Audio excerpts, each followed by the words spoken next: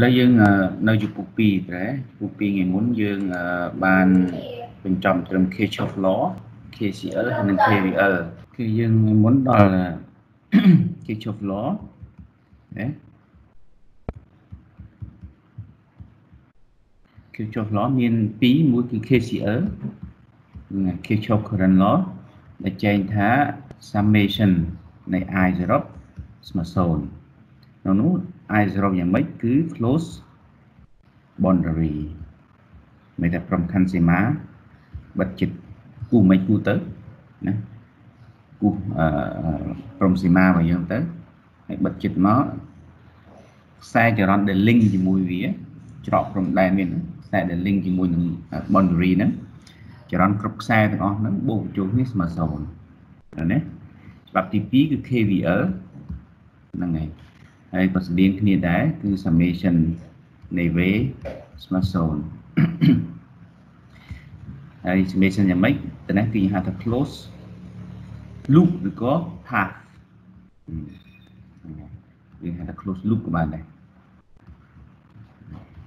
មិនចេះតែគូទេតើណាគឺគូទៅតាម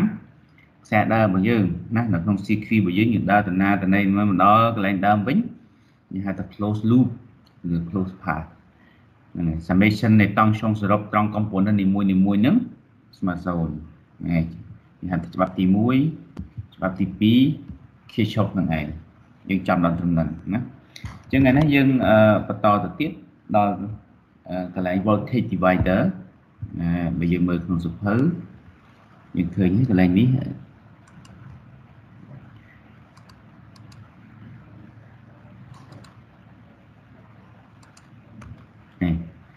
voltage division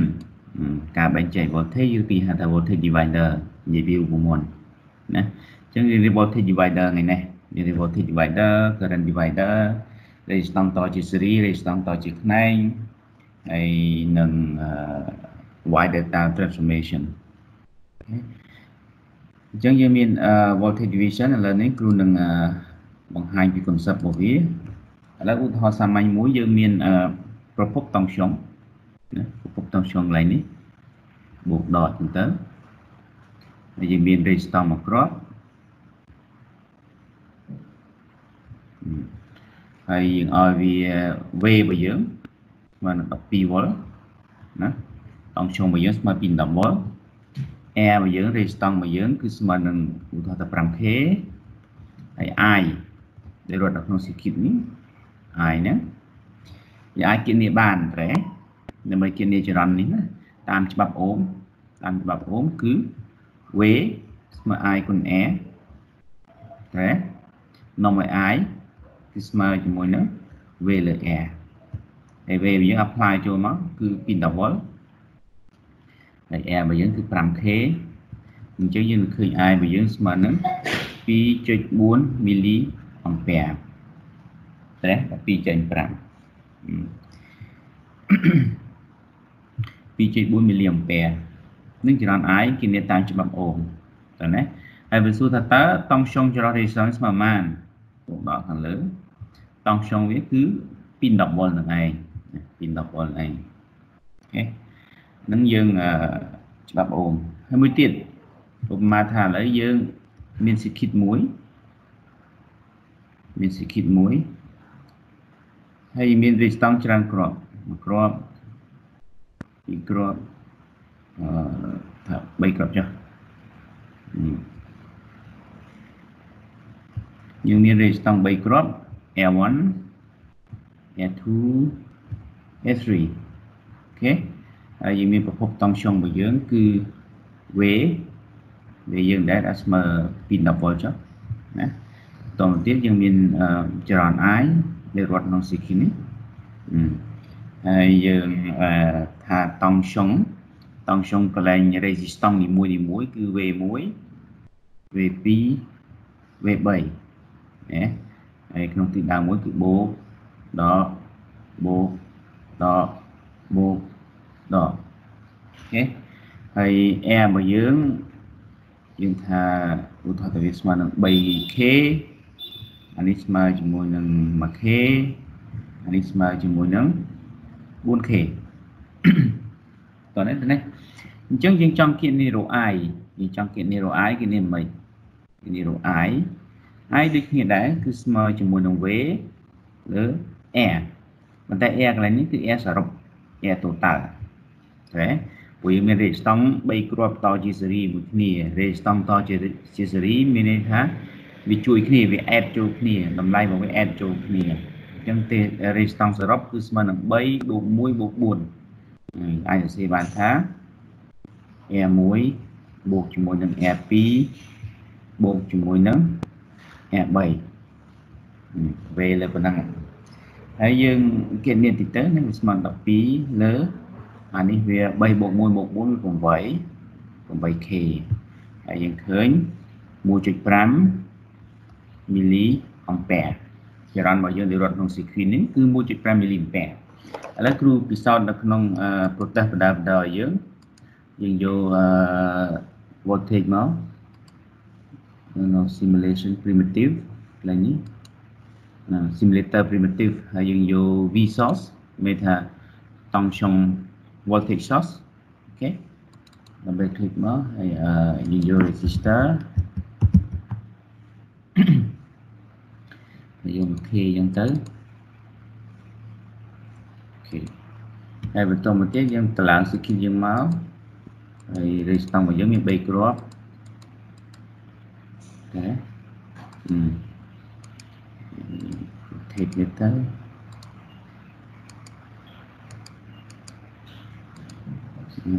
ហើយចុះស៊ីគីយើងអឺទៅទៅស្តង់ទៅដូចរីស្តង់មិញអា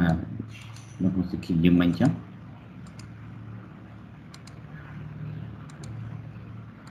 អូខេបន្តមកទៀតយើងដូរតម្លៃ resistance resistance របស់យើងគឺ 3k 1k 4k តោះណាចឹងនេះគឺ 3k ដើម្បី click វាមកយើងដាក់ 3k 3k ទៅនេះគឺ 1k ត្រូវហើយបាញ់នេះគឺ 4k ហើយតង់ខ្យងរបស់យើងគឺ12 V តើណា យើងមានស៊ីគីតចឹងហ៎ណាអញ្ចឹងយើងចង់អឺវាស់អំពែដែលយើងគិតនេះបានមិញយើងយកអំពែម៉ែត្រនៅខាងឆ្វេងដៃបន្តិចនេះចុចមកយក DC អំពែម៉ែត្រហ្នឹងហើយហើយយើងអឺអានេះភ្ជាប់ដើម្បីភ្ជាប់អំពែគឺយើងផ្ដាច់ខ្សែតជាសេរីអំពែនោះដូចជាការវាស់ទឹកចឹងណានៅផ្ទះមុខផ្ទះយើងមុនចូលផ្ទះយើងយើងមានការវាស់ណានេះ ហើយប្រភពទឹកពីរតាកមកហូរចូលមកត្រូវចូលម៉ែត្រវាស់សិនឆ្លងកាត់ម៉ែត្រសិនបានចូលក្នុងផ្ទះយើងប្រើប្រាស់អញ្ចឹងកាលណាយើងចង់វាស់អំពែយើងត្រូវតជាសេរីឲ្យវាឆ្លងកាត់ម៉ែត្រគឺម៉ែត្រដឹងទៅប្រហែលអំពែអញ្ចឹងទៅអញ្ចឹងយើងរ៉ាន់មកអឺបើយើងរ៉ាន់យើងនឹងអត់ឃើញអីមកទេដោយសារអីដោយសារຂະຫນាត់កន្លែងនេះគឺគិតជាអំពែ កាលណាគិតជាអំពែវាអត់បង្ហាញទេដោយសារខ្នាតធំពេកព្រោះចរន្តជាក់ស្ដែងគឺមីលីអំពែអញ្ចឹងយើងដូរខ្នាតវាសិនទៅយើងដបคลิกកន្លែងនេះដូរពី m ទៅ milliamp មកយើងចំណាំទៅកាលណា v ស្មើនឹង volt r ស្មើនឹង k គីឡូអញ្ចឹងចរន្តមីលីយើងរ៉ាំទៅយើងឃើញ1.5មីលីអំពែនេះយើងឃើញ1.5មីលីអំពែតោះណា ដូចអ្វីដែលយើងគណនាមិញអញ្ចឹងអញ្ចឹងយើងគណនាកន្លែងនេះគឺ i ដែលរត់នៅក្នុង CQ នេះគឺស្មើនឹង v លើ r ទេ v របស់យើងគឺ2 double ប្រភពយើងហើយ r របស់យើងសរុបចូលគ្នាគឺ 8k អញ្ចឹងចរន្តដែលហូរជាស៊េរីមកជុំវិញហ្នឹងគឺស្មើនឹង1.5អាំពែមីលីអាំពែហើយយើងចង់វាស់តាណាឃើញប៉ុណ្ណឹងដែរឧទាហរណ៍ថាគូយកមកវាស់កន្លែងនេះវាស់កណ្ដាលនេះ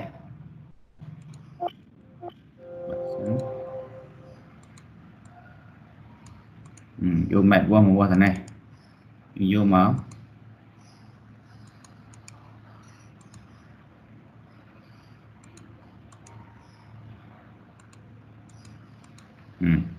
ហើយដូរទៅមីលីអានមីលីអានអូខេតែមកទៀតរ៉ាន់ទៀតទៅវាឃើញ1.5មីលីអាំពែដូចគ្នាព្រោះកាលណា secret តជាសេរី ដូចយើងសម័យថាយើងតទីប1តជាសេរីអញ្ចឹងណាអញ្ចឹងគ្រប់ទីតាំងគ្រប់កន្លែងក្នុងទយោហ្នឹងគឺទឹករត់ហ្នឹងបរិមាណស្មើគ្នាក្នុង speed ស្មើគ្នាក្នុងទំហំដូចគ្នាវាមិនអាចខុសគ្នាបានទេហ្នឹងណាហ្នឹងហើយអញ្ចឹងទយោទឹកចរន្តទឹករត់ម្ដុំណាកន្លែងណាគឺដូចគ្នាទាំងអស់ដោយសារវាតជាសេរីតោះនេះទៅណាយ៉ាងនេះមួយអឺឥឡូវនេះយើងនិយាយអំពីការបែងចែកតង់សុងមានថាបើយើងមាន V យើងស្មើអំពី10វ៉ុលណាបើយើងមាន V យើងស្មើអំពី10វ៉ុលតើ V ពី10វ៉ុលហ្នឹងបានបែងចែកទៅឲ្យអានេះប្រមាណវ៉ុលមកនេះប្រមាណវ៉ុលហើយមកនេះប្រមាណវ៉ុលអីចឹងទៅតើណាចឹង V1 ស្មើប្រមាណវ៉ុល V2 ស្មើប្រមាណវ៉ុល V3 ស្មើប្រមាណវ៉ុលប្រភពពី10វ៉ុលរបស់យើងហ្នឹងបានចែកចាយទៅរីស្តង់3គ្រាប់ហ្នឹងចែកចំណោយណាចែកចំណោយកូនហ្នឹងនេះ នេះបានម្នាក់ប្រហែលវ៉ុលម្នាក់ប្រហែលវ៉ុលអញ្ចឹងណាហ្នឹងហើយហើយយើងក្នុងការចែកវ៉ុលយើងមើលអញ្ចឹងអាណាអាកូនធំមៀតធំត្រូវឲ្យនំមៀតធំកូនបងអាតូចជាងគេអាចចាប់បញ្ចប់ហ្នឹងឲ្យតិចតិចទៅវាញ៉ាំតិចគឺឆ្អែតដែរឲ្យចែកទៅតាមមៀតទៅតាមទំហំទៅតាមអាយុអញ្ចឹងទៅឧទាហរណ៍អញ្ចឹងយើងចែកមិនយើងឃើញថាចរន្តរត់គឺទេវាតជាសេរីត្រូវទេចរន្តរត់គឺទេ អញ្ចឹងដើម្បីគណនាវ៉ុលរបស់ V1 យើងប្រើច្បាប់អូមដែរណា V1 ស្មើអីដើម្បីគណនា V1 គឺយកចរន្តដែលរត់កាត់ resistance វាហ្នឹងអញ្ចឹងគឺ I វាតជាសេរីហើយគុណជាមួយនឹង R1 ត្រូវអត់ V1 គុណ R1 បាទណាហើយវាស្មើអី i របស់យើងគឺស្មើនឹង v លើ rt ទេ នេះនៅលើនេះ i ស្មើនឹង v លើ rt ហើយគុណជាមួយនឹង r1 ហ៎ឬក៏យើងសរសេរពលិតតិចក៏បានដែរ rt នេះគឺ r1 បូក r2 បូកបូក r3 លើ v អឺ v លើគុណជាមួយនឹង r1 ហ្នឹងហើយនេះដើម្បីរកតង់ខ្ញុំត្រង់ ឬក៏របស់ resistance R1 ហ្នឹងអញ្ចឹងយើងចំនួនលេខចូលមក V1 ស្មើនឹង V របស់យើងគឺ210ចែកជាមួយនឹង 8K គុណជាមួយនឹង 3K នេះគឺឃើញអឺ4.5វ៉ុលតោះនេះទៅណារូបមន្តដូចគ្នាទេច្បាប់អូមណាវេវេកន្លែងណា រេស្តង់កន្លែងហ្នឹងរេស្តង់កាត់នឹងចរន្តរត់កាត់នឹងអញ្ចឹងទៅអញ្ចឹង V1 គឺស្មើនឹង I ដែលរត់កាត់ R1 នឹងឯង V1 គឺស្មើនឹង I គុណនឹង R1 នេះស្មើហូហែទៅ I របស់យើងយកពីលើមក V លើ RT គុណនឹង R1 ហើយពលិតចឹងមកហើយចំនួនលេខចូលយើងបានប៉ុណ្ណេះវ៉ុលឥឡូវយើងរក R2 ម្ដង V2 V2 របស់យើងគឺស្មើអី ដូចគ្នាមើល i គុណនឹង a2 ដែរ i រត់ឆ្លងកាត់វាហ្នឹងព្រោះ i តជាស៊េរីណាវាគ្រប់កន្លែងស្មើគ្នាទាំងអស់ដូចគឺបង្ហាញក្នុងប្រទេសមិញអញ្ចឹងអញ្ចឹង i គុណនឹង a2 អញ្ចឹងយើងដាក់ទៀតមកវាស្មើនឹង v លើ a ទេគុណជាមួយនឹង a2 ហើយស្មើនឹង12លើ 8k គុណជាមួយនឹង 1k ហើយយើងឃើញថាគណនីទៅយើងឃើញ1.1 5 volt 1.5 volt ដល់វា3ដូចគ្នាដែរអឺបាទ V3 របស់យើងគឺស្មើជាមួយនឹង i គុណនឹង A3 ណា i គុណនឹង A3 អញ្ចឹងវាស្មើជាមួយនឹង V លើ AT គុណជាមួយនឹង A3 អញ្ចឹងវាស្មើនឹង A3 12លើ8 K គុណជាមួយ R3 របស់យើងគឺ 4K អញ្ចឹងវាស្មើនឹងគណនាទៅឃើញ6វ៉ុលតោះណានឹងរបៀបគណនាតង់ខ្យងនីមួយនីមួយហ្នឹងទៅលើ resistance នីមួយនីមួយហើយតង់ខ្យងសរុបរបស់វាយើងបូកមើលទៅ6បូកនឹង1.5បូក1.4 4.5ច្រឡំអញ្ចឹង4.5បូកនឹង1.5គឺ6 6បូក6គឺ12អញ្ចឹងតង់សងសរុបវាគឺពី10វ៉ុលនឹងឯង អអញ្ចឹងអាពី10 volt ហ្នឹងបានចែកទៅឲ្យបាន divide ទៅឲ្យ resistance នីមួយនីមួយហ្នឹងលក្ខណៈអញ្ចឹងណា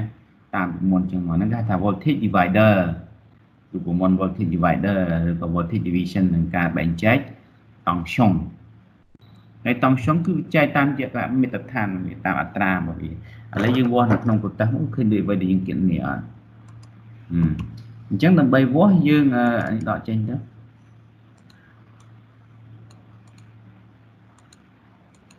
ដើម្បីយើងយកដើម្បីវាស់យើងយក DC voltmeter យកដាក់នេះមកវាស់តង់ខ្យងកន្លែងនេះ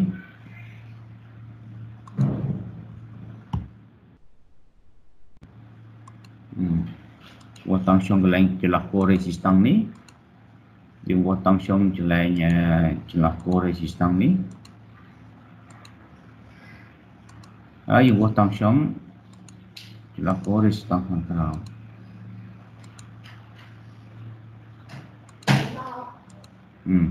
ហើយយើងរ៉ាន់មកយើងឃើញប្រមាណឃើញ4.5វ៉ុលឃើញ1វ៉ុលកន្លះហើយឃើញ6វ៉ុលតើណាអញ្ចឹងប្រភពរបស់យើងពី10វ៉ុលនេះគឺបានចែកចាយមកឲ្យ បានបែងចែកមកឲ្យតង់ខ្យងពី10វ៉ុលបានបែងចែកមកឲ្យ resistance នីមួយនីមួយប៉ុណ្ណេះអញ្ចឹងទៅ4.5 1.5ហើយនឹង6ដែលសរុបទៅគឺពី10វ៉ុលហ្នឹងឯងណាតោះនេះតើនេះ គឺមុនដែរទេគឺប្រើច្បាប់អូមដែរនេះយើង resistance អឺតង់ប្រភពយើងនេះគឺបានបែងចែកមកនេះផងបានបែងចែកមកនេះផងបានបែងចែកមកនេះផងណាពី 10វ៉ុលរបស់យើងហ្នឹងណាបានមកអននេះ4.5វ៉ុលអានេះ1.5វ៉ុលអានេះ6វ៉ុលហើយសួរតើបែងចែកយ៉ាងម៉េចទៅតាមកម្រិត resistance របស់វាណាកម្រិត resistance របស់វាអញ្ចឹងរូបមន្តនេះវាសាមញ្ញទេទី1 បើយើងវិភាគទៅលើរូបមន្តណាណាអញ្ចឹងអឺដើម្បីរកតង់ខ្យងរបស់ Air2 យើងសេថា V V2 ឬ VR2 ចុះតង់ខ្យងចន្លោះ resistance Air2 គឺស្មើជាមួយនឹង VS VS ហ្នឹងវា supply វាពុតគង់ហ្នឹងចែកជាមួយនឹង Air សរុបហើយគុណជាមួយនឹង resistance របស់ខ្លួនឯងទៅខ្លួនឯងមានប៉ុណ្ណាបំណែកយើងបានប៉ុណ្ណាយកទៅចប់ហើយអញ្ចឹង VS ចែកនឹង RT មានថាម៉េច VS ចែកនឹង R សរុបមានតែចែករោតើក្នុងមួយ unit resistance ហ្នឹងវាទទួលបានប្រមាណ volt តែយើងយកអ្វីមួយទៅចែកទៅ total មើលថាតើម្នាក់បានប្រមាណអឺដូចយើងចែកអំណោយទៅគ្រូសា3គ្រូសាអញ្ចឹងគ្រូសានេះមានគ្នា10នាក់ គ្រូសានេះមានគ្នា2នាក់គ្រូសានេះមានគ្នា4នាក់ឧទាហរណ៍ណាអឬក៏យកឧទាហរណ៍ត្រូវលេខយើងហ្មងទៅបាទយកលេខថ្មីមួយចំនួនទៅនេះយើងយើងដាក់តម្លៃ resistance របស់យើងទៅឧស្សាហ៍នេះមានគ្នា3នាក់ឧស្សាហ៍នេះមានតែម្នាក់ឯងឧស្សាហ៍នេះមានគ្នា4នាក់ឧទាហរណ៍យើងចែកអំណោយចុះចែកអង្គចែកអីយ៉ាងចុះអា បើយើងចែកអំណោយសួរតែយើងចែកថេឬក៏យើងចែកយ៉ាងម៉េចណាមានគ្នា4នាក់សួរតែយើងចែកស្មើគ្នារែងឬក៏យ៉ាងម៉េចមកគូសាបានបើមួយក្រុងមួយក្រុងដូចគ្នាឬក៏យ៉ាងម៉េចយើងអត់ទេយើងបែងចែកទៅតាមសមាជិកគ្រួសារសមាជិកគ្រួសារណាច្រើនឲ្យរៀងច្រើនណាតិចឲ្យតិចព្រោះហូបតិចដែរហ្នឹងហើយពីណាមុំឲ្យល្មមយើងទៅតាមមាត្រដ្ឋានទៅតាមຂ្នាតហ្នឹង បែងចែកតាមហ្នឹងអញ្ចឹងយើងមានពី10ក្រុងយើងមានពី10ក្រុងចឹងដើម្បីចែកបែងចែកទៅយើងយក12ក្រុងហ្នឹងមកចែកជាសមាជិកសរុបសិនសរុបដែលយើងត្រូវចែកគឺមានប្រហែល8នាក់ហ្នឹងហើយ8នាក់ណា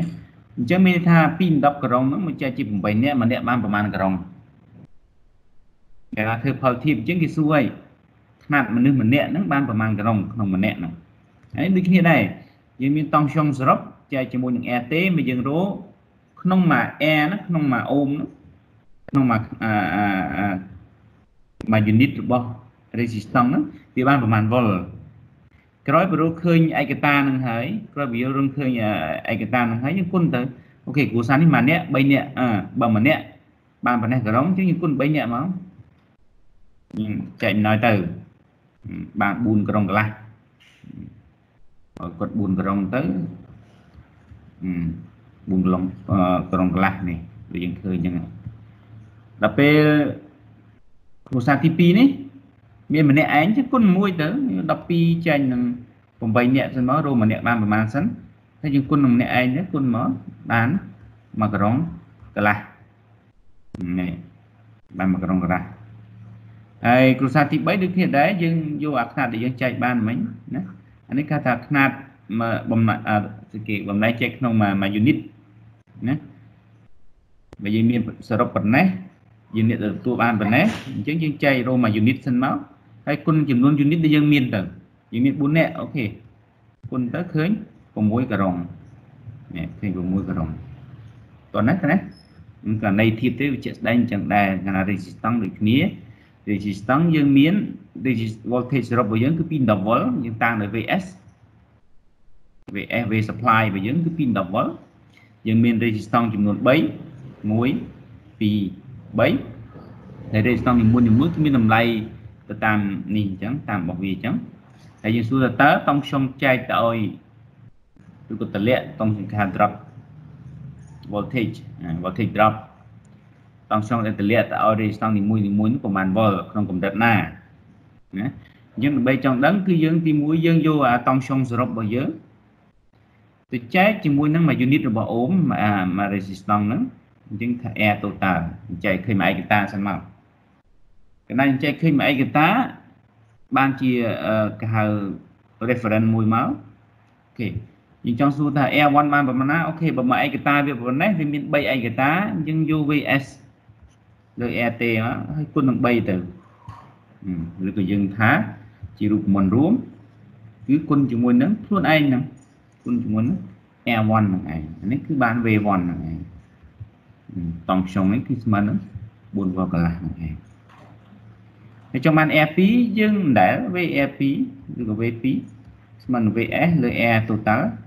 គុណជាមួយនឹង air2 ខ្លួនឯងចឹងទៅបាទណាអញ្ចឹង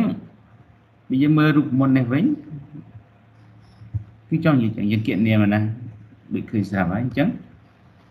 ដើម្បីគណនាតង់ខ្ញុំក្នុងសេគីតជាសេរីណាគឺ V អី V1 V2 V3 ក៏បាន V AI គឺស្មើជាមួយនឹងនឹង air ប៉ុន្មានតែយើងចង់បានស្មើនឹង V សរុបចែកជាមួយនឹង air total គុណជាមួយនឹង AI ហ្នឹងឯង I ជាសន្ទុះ1 2 3 4ដែលយើងចង់បាននឹងឯងគេហៅថា voltage divider ហ្នឹងឯង voltage divider ចឹងនិយាយថាយើងអាចគិតនេះបានតាមនេះអឺច្បាប់អូមសុទ្ធសាធហ្មងណាប៉ុន្តែយើងមិនម្លែងនៅគ្មានទំនាក់ទំនងចរន្តយើងមើលពិនិត្យដល់ VS នៅលើ RT គឺ I នឹងឯងចរន្តនឹងឯងណា អញ្ចឹង V ស្មើនឹងចរន្តគុណនឹង R មិនច្បាប់អូមទេប៉ុន្តែគេបំលែងថាយើងមិនចង់គណនា I ទេយើងគណនាតាមរូបវ័នចេះតាមបំលែងបំលែងចែកអឺតង់ខ្យងហ្មងតង់ខ្យងសរុបចែកឲ្យហ្មងហ្នឹងថា voltage divider វាអត់មានអីលើសនឹងទេតោះនេះអញ្ចឹងចាំរូបមន្តនេះមួយព្រោះយើងប្រើញឹកញាប់មែនទែនហើយវាអត់មានអីត្រូវពិបាកចាំទេម្ដងទៀតដើម្បីរក V អីគឺថា V1 ស្មើនឹង V សរុប ចែកចេញជាឯកតាសិនទៅហើយគុណនឹង resistance ខ្លួនឯងបំណែកខ្លួនឯងដែលទទួលបានហ្នឹងទៅដែលត្រូវតែទទួលបានហ្នឹងណា V សរុបចែកនឹង RT មានតែ resistance សរុបដើម្បីរក1 unit វាបានប្រមាណ volt ហើយគុណនឹងបំណែកដែលខ្លួនឯងមានទៅចេញតង់ខ្យងនឹងឯងអានឹងឯងហៅថា voltage divider តើណា ឥឡូវយើងចូលទៅមើល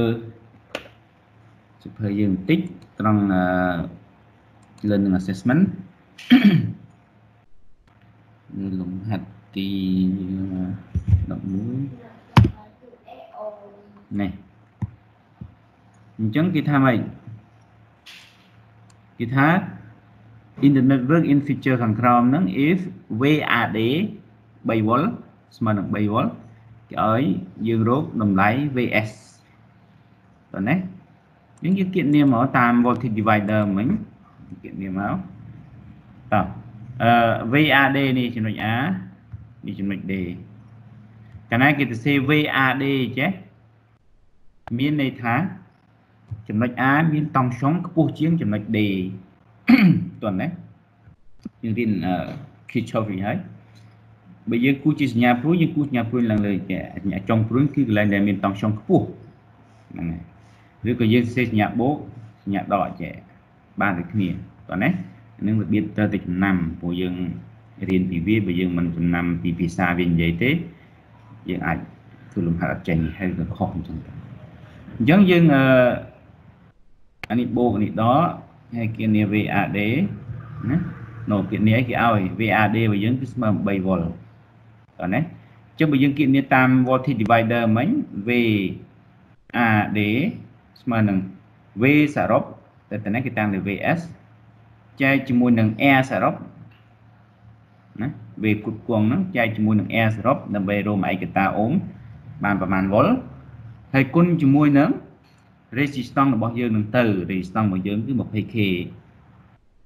20k តើណា អញ្ចឹងវាសាក់មូលនឹង VAD គេឲ្យប្រមាណគេឲ្យ3វ៉ុលស្មើនឹង VS គឺយើងអត់ដឹងទេជាប៉ារ៉ាម៉ែត្រដែលយើងត្រូវរកចែកជាមួយនឹង RT RT មានតែ R សរុប R សរុបយើងបូកមក30 60បូក resistance សរុបមកគឺ 60k ណាគេគុណជាមួយនឹង 20k តើណាអញ្ចឹង20សម្រួលជាមួយ60វាសល់3 យើងអាចសៀថាថា3ស្មើនឹង VS លើ3អញ្ចឹងនាំឲ្យ VS ស្មើនឹង3គុណ3ស្មើនឹង9អញ្ចឹង VS របស់យើងគឺត្រូវស្មើជាមួយនឹង9វ៉ុលវាសាមញ្ញទាំងឯងណាប៉ុណ្ណេះអញ្ចឹងយើងអឺមើលចម្លើយទៅគឺស្មើនឹង9វ៉ុលហ្នឹងឯង VS របស់យើងគឺស្មើ9វ៉ុល ឥឡូវដល់ចំណុចនេះ voltage divider មិញមានសំណួរទៅសួរដែរចម្ងល់តាណាអីសួរហើយណា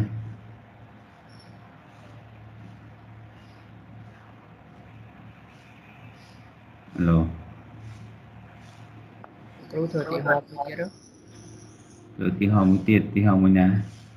មួយណាក៏បាននឹងធ្វើមួយទៀតធ្វើ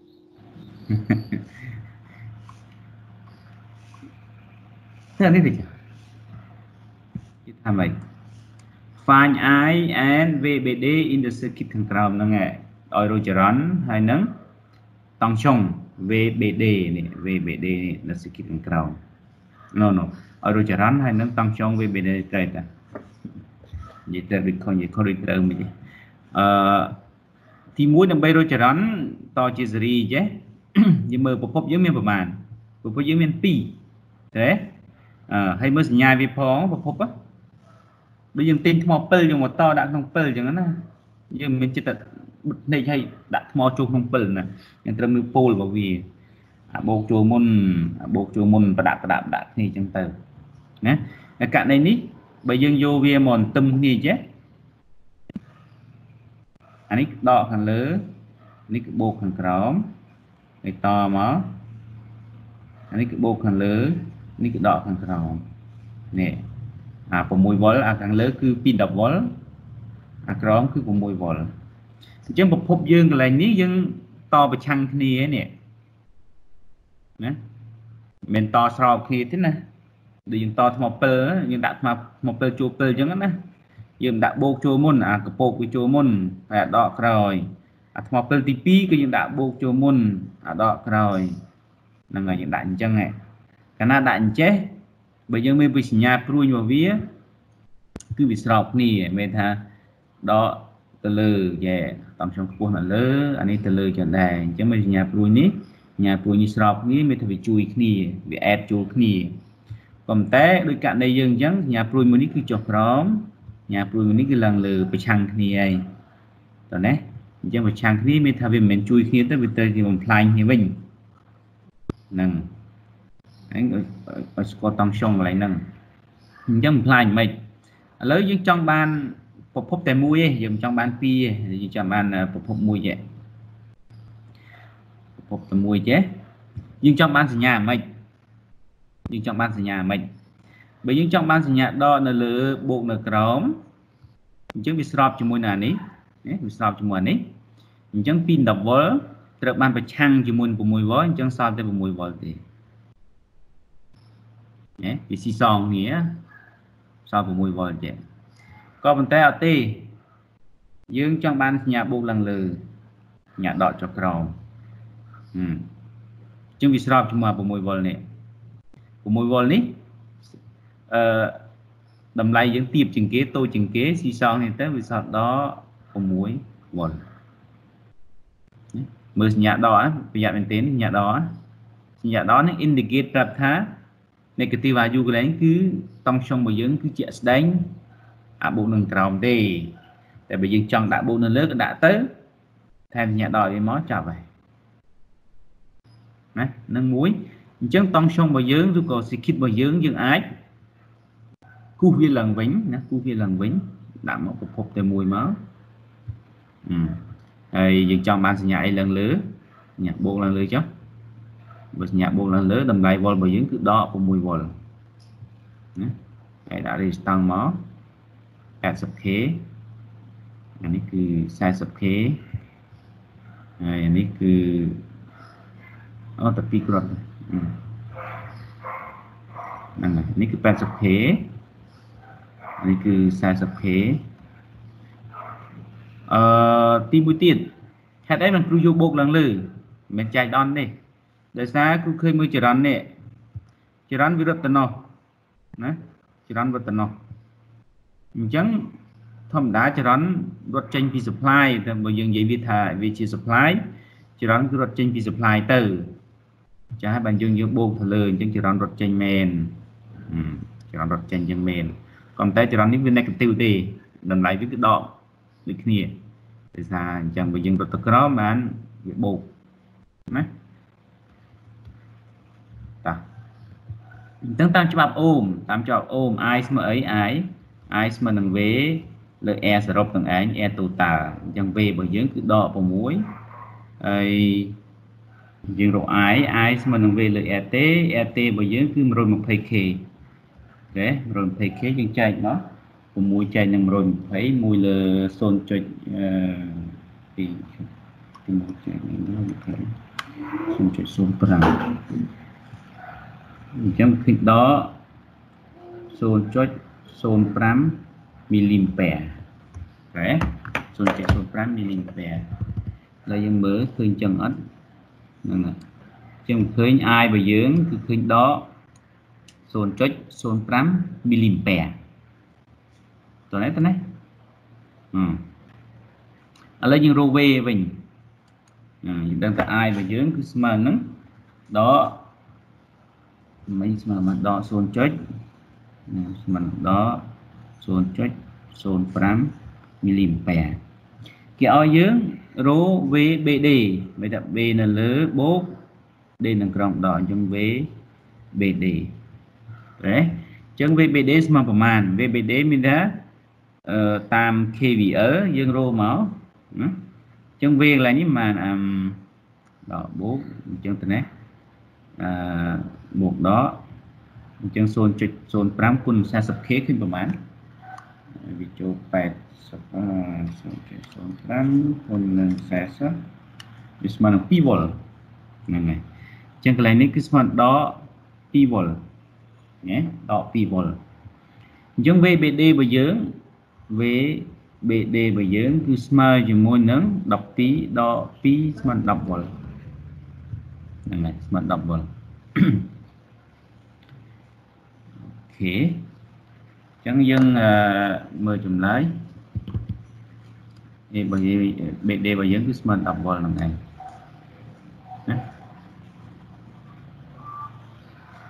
តោះនេះមើលទៅមានកន្លែងឆ្ងល់ណាគ្រូឆ្ងល់តែកន្លែងដល់6វ៉ុលគ្រូសុំម្ដងតិចគ្រូចាប់អត់តន់អាធម្មតាវាចេះអឺ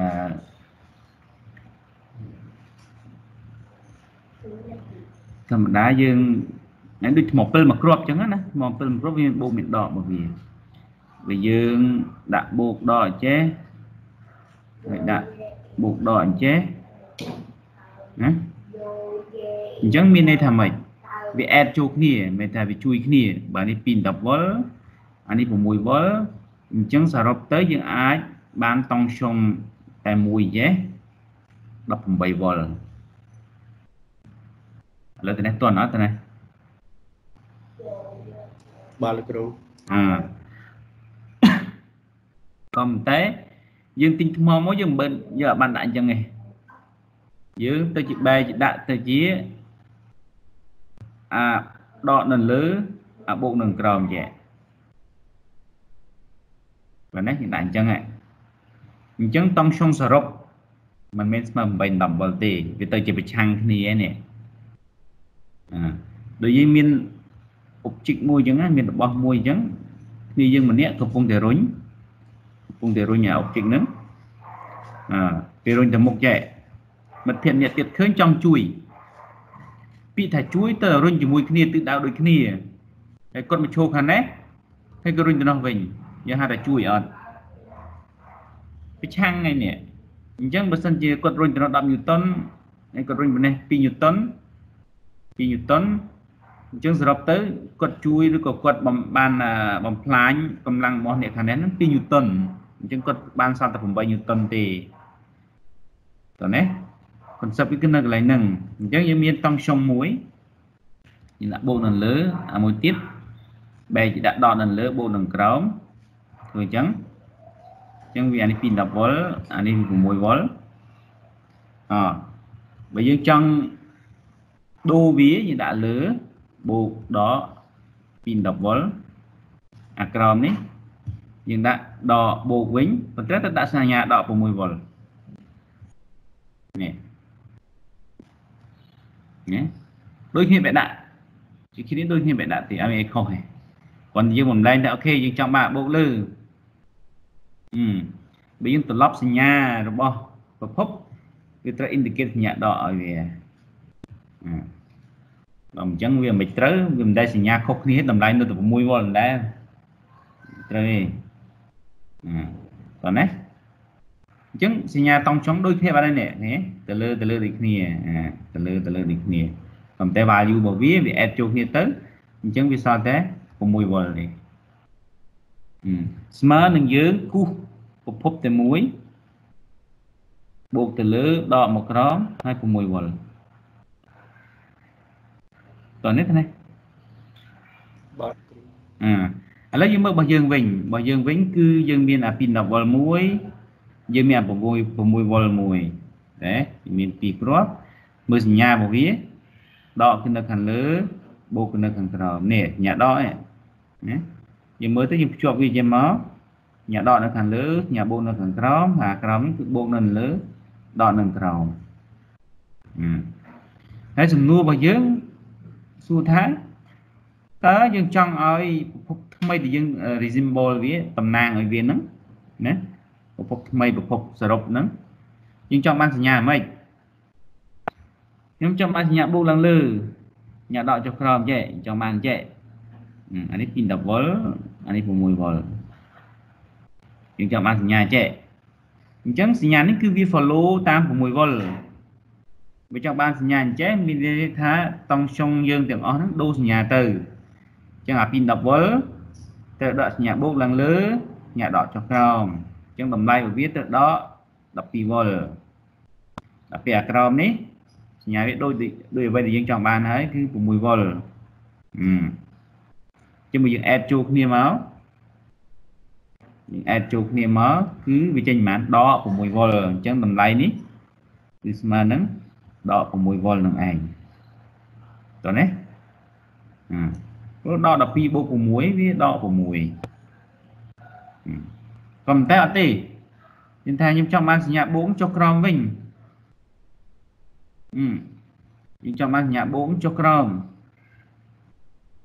ទូពួនតន់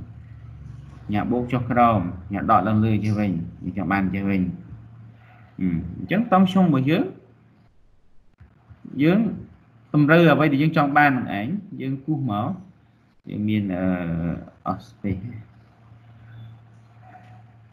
ភព2ភពទី1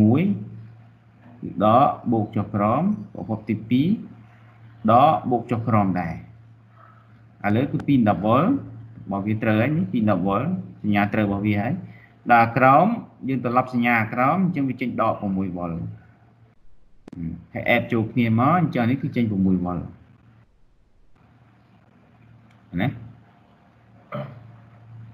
អឺឆ្ងល់អីទៀតឬក៏អត់ទាន់យល់ទេយ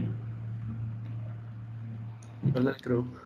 អញ្ចឹងយើងមើលសញ្ញាតង់ឆុងសំខាន់ជាងគេគឺសញ្ញាឯងតង់ឆុងបើអត់ស្គាល់សញ្ញាទេស្មើអត់ប្រយោជន៍ទេអត់មានតម្លៃអីទៅគៀបនេះចេញ គ្រប់តង់ឆុងគឺត្រូវនិយាយពីសញ្ញាសម្បីតែគេឲ្យរោតង់ឆុង V BD គឺយើងត្រូវដឹងដែរមានន័យថាគេដាក់លើបូកអាក្រោមដក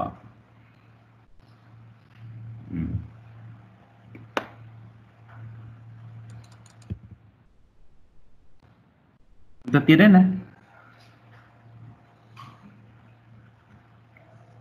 ហឡូគ្រូសុំឧទាហរណ៍ស្តៀងអាហ្នឹងមួយទៀតបានណាលោកគ្រូឧទាហរណ៍ស្តៀង បាទដូចអត់មានទេតចូលលំហាត់ប៉ុន្តែលំហាត់ហ្នឹងវាអត់ទាន់មានអីធំដុំទេព្រោះសារវារៀងស្រួលដែរអឺវាតជាសេរីអញ្ចឹងវាស្រួលមែនទេវាលំហាត់មានពិបាកទេដូចនេះអញ្ចឹងណាដូចនេះអញ្ចឹងយើងគេឲ្យ row 0 អញ្ចឹងយើងប្រើ voltage divider ដដែលក៏ប៉ុន្តែដោយសារ resistance យើងតជាផ្នែកអញ្ចឹងយើងអត់ទាន់រៀន resistance តជាផ្នែកទេហ្នឹងហើយអញ្ចឹងមិនយើងចាំតិចទៅណាតិចទៀតដល់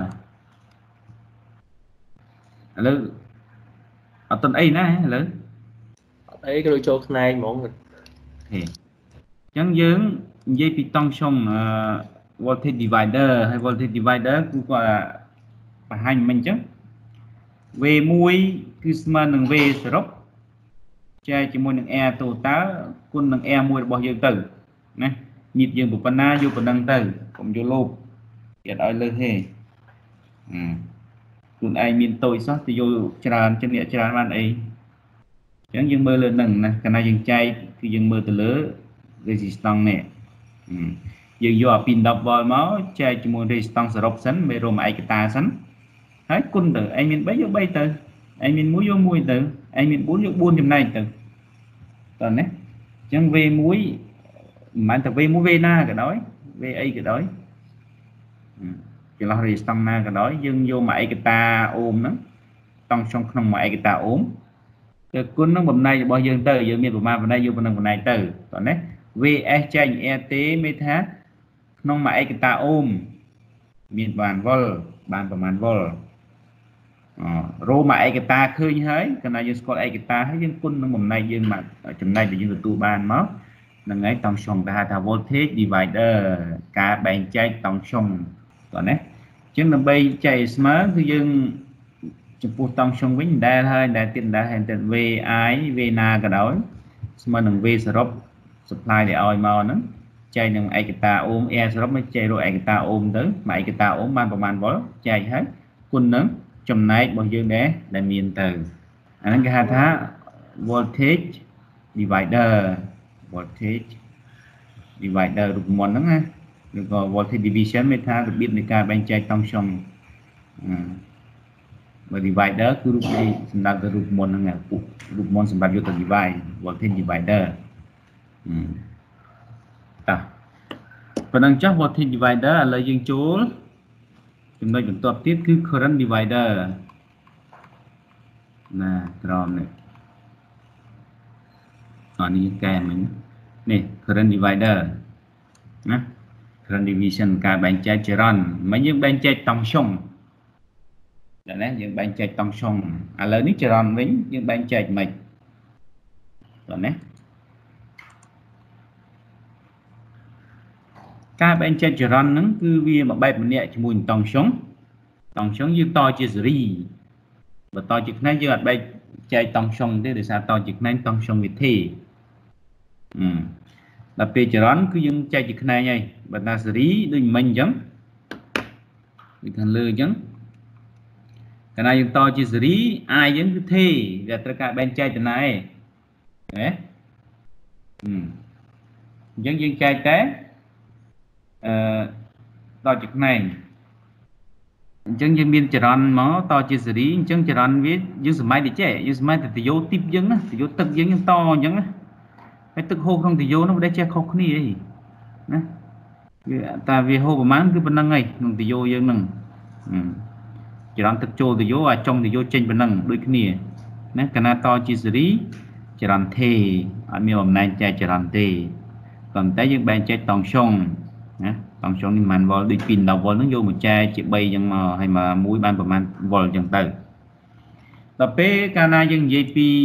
បំណែងចែកចរន្តមានតែយើងនិយាយពីស៊ីគិតខ្នែងឧទាហរណ៍ថាយើងមានទយោមេមួយយើងមានទយោមេមួយយូធំយូមកណាហើយបែងចែកទៅ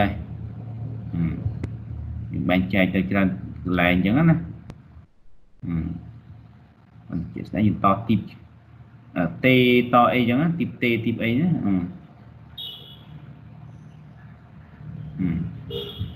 អញ្ចឹងគេសួរថាឥឡូវចរន្តមេមកហើយចរន្ត I សរុបហ្នឹង IS មកហើយ I supply ចរន្តមេមកហើយតើចរន្តមេប៉ុណ្ណេះវាបានបែងចែកតានេះប្រមាណចែកមកនេះប្រមាណចែកមកនេះប្រមាណចែកមកនេះប្រមាណណា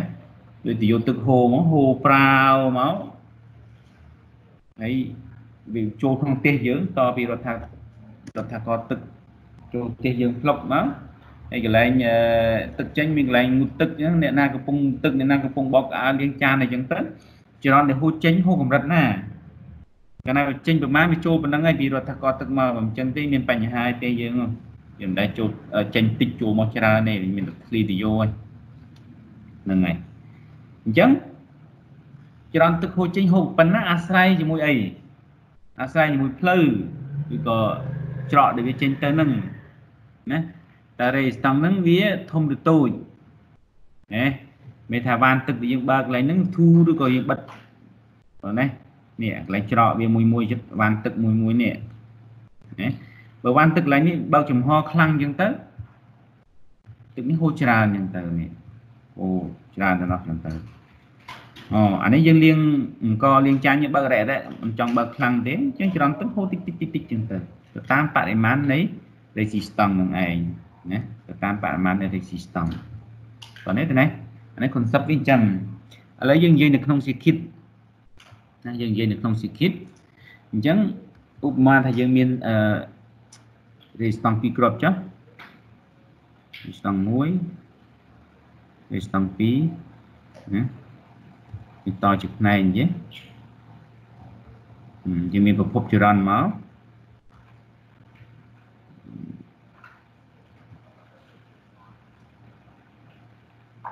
នេះប្រភពចរន្តយើងថា IS ចុះប្រភព supply ចរន្ត supply មកហ្នឹងអញ្ចឹង IS ហូរមកដល់នេះហើយនេះ IS ដល់កន្លែងនេះ IS មកដល់កន្លែងនេះវាត្រូវបែងចែកជា2ហ៎ត្រេហ្នឹងហើយ ហើយបែងចែកហើយរត់មកហើយសរុបវិញគឺ IS ដែលចូលមកវិញហ្នឹងអញ្ចឹងសួរថាយើងតាមថា I1 អានេះ I2 មកចរន្តខ្សែទឹកទី1ចរន្តខ្សែទឹកទី2ទយោទី1ទយោទី2អញ្ចឹងទៅហើយនេះគឺ R1 នេះគឺ R2 ហ្នឹងហើយ R1 R2 តោះអញ្ចឹងចរន្តមេហូរចូលមករាវមក វាបែងចែកជា2បែងចែកទៅតាមអីទៅតាមសមាមាត្រនៃ resistance resistance ណាតូចបានចរន្តច្រើន resistance ណាធំចរន្តហូរតិចដោយសារយើងខាំងវាខ្លាំងពេកណាអញ្ចឹងយើងដាក់សេរី resistance តាមហ្នឹងទៅចរន្តទឹកហូរកាត់វាហ្នឹងគឺខុសៗគ្នាទៅតាមតម្លៃ resistance ហ្នឹងឯងយល់ទេតើណាខុសគ្នាទៅតាមទៅតាមតម្លៃ resistance អញ្ចឹង យើងសរសេរជារូបមន្តមកយើងដឹងថា VR1 និង VR2 ស្មើគ្នា VR1 ស្មើនឹង VR2 ដោយសារវាតជាផ្នែកហើយសមិទ្ធកម្មទី2ដែលយើងទទួលបានទៀតនោះគឺ IS ស្មើនឹង I1 I2 KCL ចរន្តចូលស្មើចរន្តចេញណា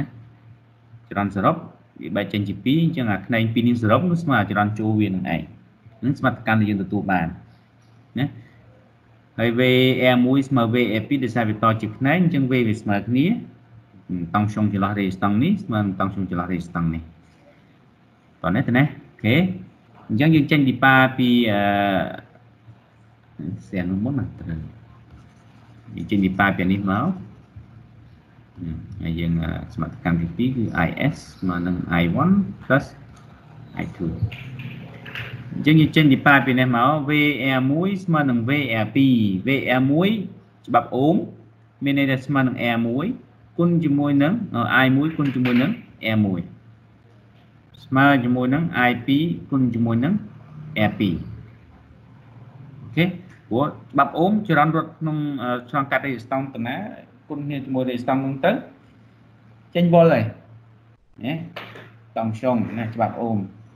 i air i យើងគឺ i1 air យើងគឺ air1 អញ្ចឹង i1 គុណនឹង air1 ស្មើនឹង i2 គុណនឹង air2 អូខេបន្តមកទៀតយើងអឺជំនួសតិចទៅណា i1 គុណនឹង air1 ស្មើនឹង i2 របស់យើង i2 របស់យើងគឺស្មើនឹង is minus i1 អូខេ air2 ព្រោះយើងទីរូបមន្តខាងលើទៅ i1 i2 ស្មើនឹង is ដល់ i1 ហើយយើងពលាតតិចមកណា i1 គុណនឹង air1 ស្មើនឹង is គុណនឹង air2 ដក i1 គុណនឹង air2 ហើយរុញ i1 នេះមកអង្គខាងឆ្វេងនេះមកចឹង i1 air1 plus i1 air2 equal to is air2 ហ្នឹងហើយហើយខាងនេះយើងឃើញស្រាប់ហើយយើងមាន i1 ជាកតារួមយើងទាញ i1 ជាកតា air1 air2 ស្មើនឹង is air2 អញ្ចឹងទីរក i1 មកនាំឲ្យ i1 គឺស្មើជាមួយនឹង is ចែកជាមួយនឹង air1 air2 គុណជាមួយនឹង air2 តោះនេះនេះរូបមន្តយើងធ្វើបាននេះ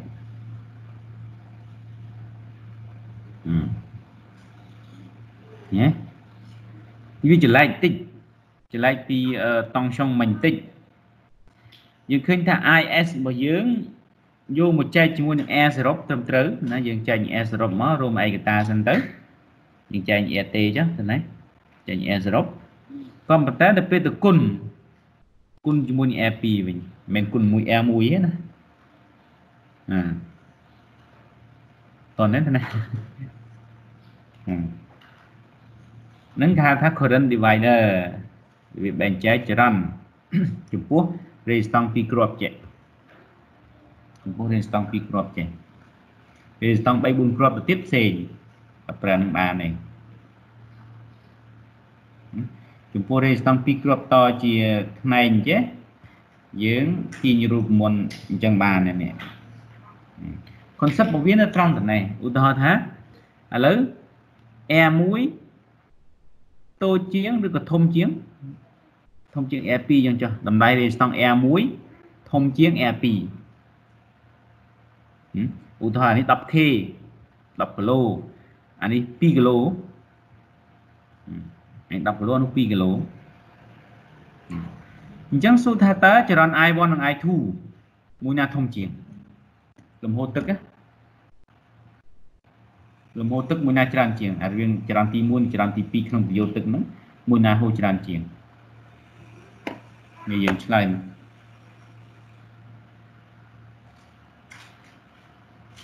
I IP IP មិន IP ត្រូវហូរច្រើនជាងបរិមាណទឹកហូរច្រើនជាងហេតុអីព្រោះ resistance វាតូចត្រូវអត់ resistance វាតូចកាលណា resistance តូចទឹកវាហូរច្រើនហើយបើវ៉ានទឹកយើងវាបើកធំជាងទឹកហូរច្រើនអាវ៉ានទឹកនេះបើកនឹងគៀបទឹកមិនហូរចេញហូរតិចតិចហ្នឹងហើយអញ្ចឹងកាលណាតជាខ្នែងយើងមើលទៅលើតម្លៃ resistance យើងអាចដឹងហើយចរន្តមួយណាធំជាងចរន្តមួយណា ចរន្ត I2 ច្បាស់ណាស់វាត្រូវធំជាងចរន្ត I1 មូលហេតុដោយសារ resistance របស់វាតូចជាងអាទី1ណាហើយរូបមន្តនេះណារូបមន្តនេះបើយើងគុណនឹងខ្លួនឯងវាមិនតូចព្រោះ A2 វាតូចណាឧទាហរណ៍យើងចង់គេនេះ I2 I2 ស្មើនឹង IS លើ R1 បូកជាមួយនឹង R2 បើយើងប្រកាន់ចេះ I2 គុណ R2 ទៅ ទៅគុណ R1 ទៅអី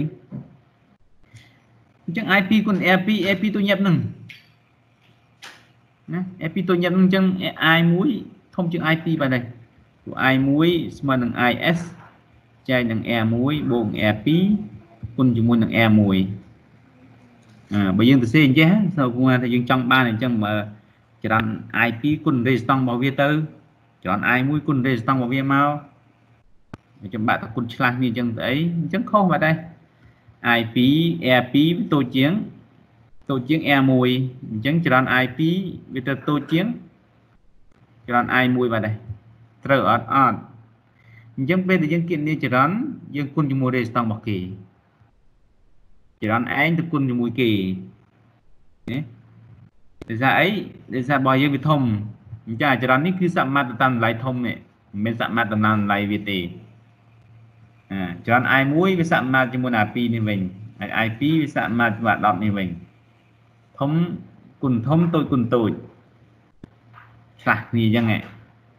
តែបើយើងលក្ខណៈជាសម្រាយសម្រាយឃើញហើយនេះតាមមុនអត់មានអីប្រឡប់អីទេយើងមើលទៅស្រាយទៅវាអញ្ចឹងមែនតើណាហើយគឺឲ្យជាឧទាហរណ៍ឧទាហរណ៍ថាអឺប្រភពរបស់យើងស្មើប្រហែលមើលអឺ 8 ampere ចុះចាក់ដាក់នេះមិនដឹងដែរហើយយើងមាន resistance ពីរគ្រាប់ស្តង់ពីរគ្រាប់ចេះមកអានេះឧទាហរណ៍ថាអឺ 2k អានេះ 4k អញ្ចឹងចុះតមកទៀតយើងចង់រកចរន្ត I1 ហើយចរន្ត I2 ណា យើងយកបរិមាណចរន្តហូរហ្នឹងហើយយើងគណនាមក I1 I1 ស្មើនឹង IS ចែកជាមួយនឹង Air1 Air2 គុណជាមួយនឹង Air2 I1 គុណ Air2 ចំណាំណា I2 ស្មើនឹង IS ចែកជាមួយនឹង Air1 Air2 គុណជាមួយនឹង Air1 អញ្ចឹងយើងខាងលើស្មើប្រមាណស្មើនឹង8ចែកជាមួយនឹង 6k គុណជាមួយនឹង អឺ2ជប់ i1 air2 air2 របស់យើង 4k គុណជាមួយ 4k ចានេះដូចគ្នា8ចែក 6k k គុណជាមួយនឹង 2k ទេឥឡូវយើងចុច casual ទៅនៅបាន32 32ចែក6វាឃើញ5ចុច 5.33ប៉ែដល់តែក្រោម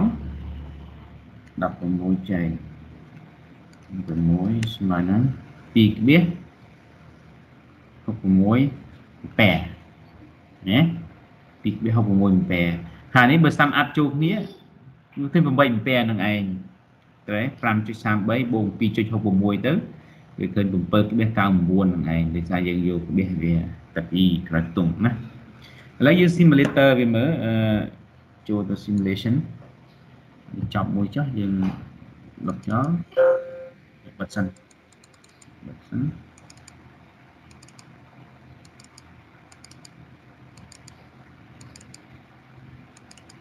តើនេះស្តង់របស់យើងតជាខ្នែងខាងនេះគឺអឺប្រហែល 2k មិញ 2k ខាង នេះគឺ 4k ទេ 2k 4k ចាំទេរកប្រភពចរន្តយើងមកខាងនេះមកយក path ហើយយក simulator primitive គឺយក csos នេះ csos csos នេះមានន័យថា current source DC current source យកវាមក ហើយ mình cũng đã lần lớn nữa ừ, và mang pé bảy pé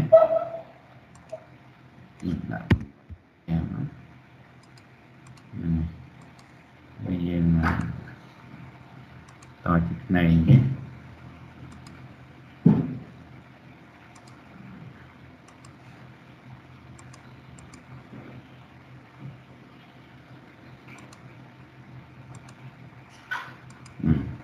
តជាផ្នែកណាចរន្ត I IS ហ្នឹងយើងមកដល់កន្លែងផ្នែកនេះវាបែបបែបទៅជា2ចឹងទៅដល់ណាឥឡូវយើងយកមក ampere meter មកវាស់នេះ DC ampere meter យើងដាក់នៅខ្សែនេះមួយយើងដាក់នៅខ្សែនេះមួយ rotate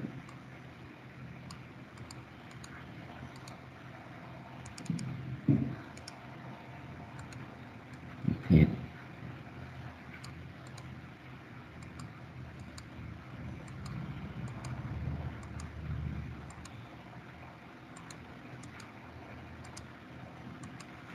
ហើយយើងរ៉ាន់ទៅ នេះគឺ5.33ហើយនឹង2.66និង67ហ្នឹងឯងណាជាងកន្លែងនេះគឺអញ្ចឹងណាអញ្ចឹងយើងមានច្បាប់បែងចែកតង់ចុងបែងចែកចរន្តណាឥឡូវនេះយើងកំពុងតែនៅច្បាប់បែងចែកចរន្តហើយច្បាប់បែងចែកចរន្តគឺអញ្ចឹងដូចថាទៅនេះ I1 អានេះ I2 អញ្ចឹង I1 គឺស្មើនឹងប្រភពសរុបចែកចេញជាឯកតា A1 A2 គុណជាមួយចំណែកដែលយើងទទួលបានចំណែកដែលយើងទទួលបានមិនមែនជា resistance យើងទេគឺគុណជាមួយនឹងរបស់គេអញ្ចឹងវាស្មើជាមួយនឹង8លើ 6k គុណជាមួយនឹង 4k 32ចែក6មិញគឺយើងឃើញ5.33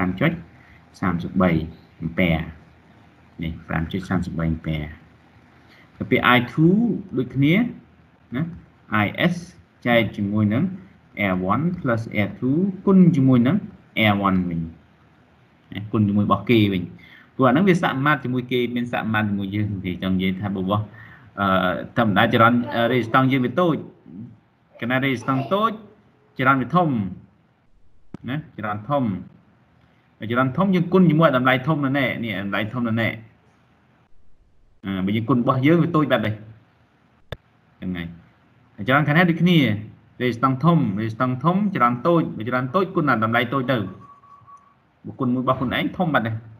ខុសច្រាស់សម្បត្តិនេះបាត់ទេហ៎ហើយយើងធ្វើមកឃើញ2.66បែហើយកម្មការវាស់ជាក់ស្ដែងគឺអញ្ចឹងមែនបាទនេះហើយបញ្ជាក់ឲ្យបញ្ជាក់ទៀតរូបមន្តនេះប្រើបានតែ resistance 2គ្រាប់ទេតិចឃើញ3គ្រាប់អី apply បានអញ្ចឹងអត់បានទេតែពេល3គ្រាប់មិនដឹងយកមួយណា ណាដឹងមិនដឹងយកមួយនេះហើយមួយនោះអាបាទណាអញ្ចឹងអឺ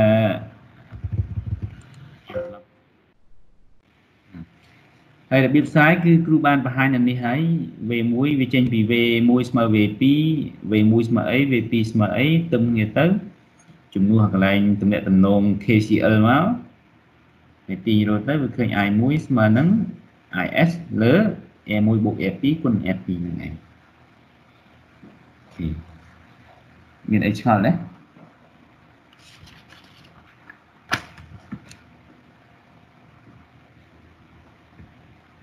មានអីឆ្ងល់ទេគ្នាយើង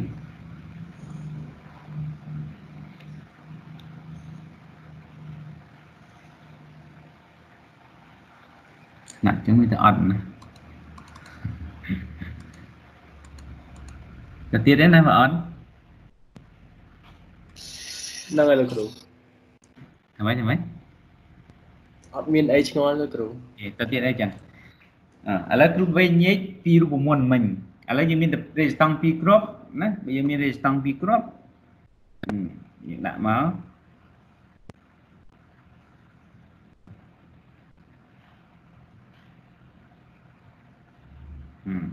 ចរន្តចូលរបស់យើង IS ប្រយ័ត្នតិចពេលគៀកនេះលំហាត់មែនទែនយើងរក IS ឃើញមែនទេណាមិនមិនឲ្យតែឃើញសញ្ញាព្រួញកន្លែងនេះដូចមិញអញ្ចឹង IS រហូតមែនទេណានេះឲ្យតែឃើញអញ្ចឹង IS មែនទេ IS គឺជា I មុនចូលខ្នែងនឹងឯងបើសិនជាវាមាន security ទៅទៀតត្នេះត្នេះអីអាហ្នឹងមែនទេ IS ហ្នឹងមែនទេ IS គឺជា I ប្រភពពី I ដែលមុននឹងបែកខ្នែងតាមតននឹងកន្លែងនេះ មិនបាច់មើលពីណាពីណីទេគឺអា I ដែលមុនចូលបែកខ្នែងនេះហៅ IS I ប្រភព I ដែលមុនបែកខ្នែងណាអាហ្នឹងករណីសេគីតតូចតូចវាចិត្តតែមើលស្រួលដល់ពេលសេគីតធំធំទៅរក IS ប្រភពពីដើមមកខុសហើយ IS គឺកន្លែងខ្នែងទៅណាគឺ IS ទៅនឹងអាមុនចូលខ្នែងហ្នឹងណាហ្នឹងគេហៅ IS ហើយព្រោះវាចូលមកត្រូវការបែងចែកវាចែកយ៉ាងម៉េចរូបមុននិយាយអញ្ចឹងអានេះ Air1 នេះ Air2 អញ្ចឹងកាលណាយើងមានប្រភពចរន្តចូលមកហើយមាន resistance តជា2គ្រាប់អញ្ចឹងអាហ្នឹងយើងប្រើរូបមន្តនឹងបាន I1 អឺអានសិននេះ I1 នេះ I2 ណាអញ្ចឹង I1 គឺស្មើនឹង I សរុប I មុនបែកខ្នែងហ្នឹងចែកជាមួយនឹង R1 បូក R2 គុណជាមួយនឹង R2 នេះ R2 នឹងត្រូវ ហើយ I2 ដូចគ្នាដែរ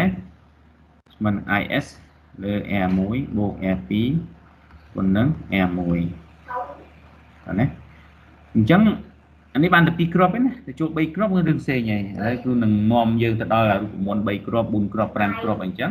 តែមុនចូលទៅដល់នោះយើងទៅនិយាយគ្នាបន្តិចតទៅជាមួយនឹង resistance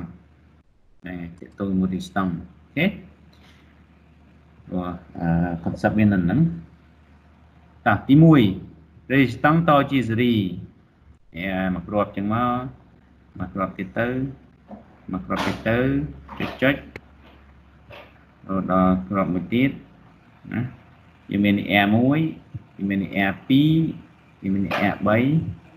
នេះ RN អញ្ចឹងចុះប្រហែលក្របប្រហែលទៅ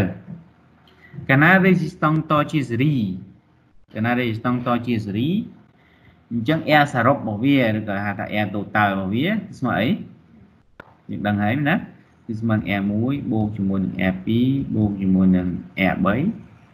ណាអីទៀតបូកជាមួយនឹងចុចចុចចុចចុចបូកជាមួយនឹង AN កណ្ដាលស្តង់តជាសេរីព្រោះស្តង់វាបង្ខាំងវារៀងផ្ទប់ណារៀងផ្ទប់1 2 3 4អញ្ចឹងមិនថាវាសាំអាប់ជួបគ្នា add ជួបគ្នាជួយគ្នាអញ្ចឹង air total ស្មើនឹង air 1បូក air 2បូក air 3បូកចុចចុចបូក air n សរុបមានប្រមាណក្របបូកប៉ុណ្ណឹងទៅណាអាហ្នឹងគឺរូបមន្តយ៉ាងងាយមួយអូខេទី2កាលណា resistance តជាខ្នែងគាត់ថា resistance មួយនេះ resistance មួយនេះ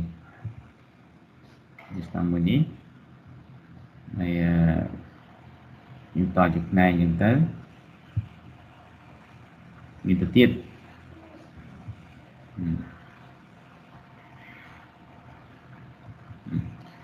នេះ R1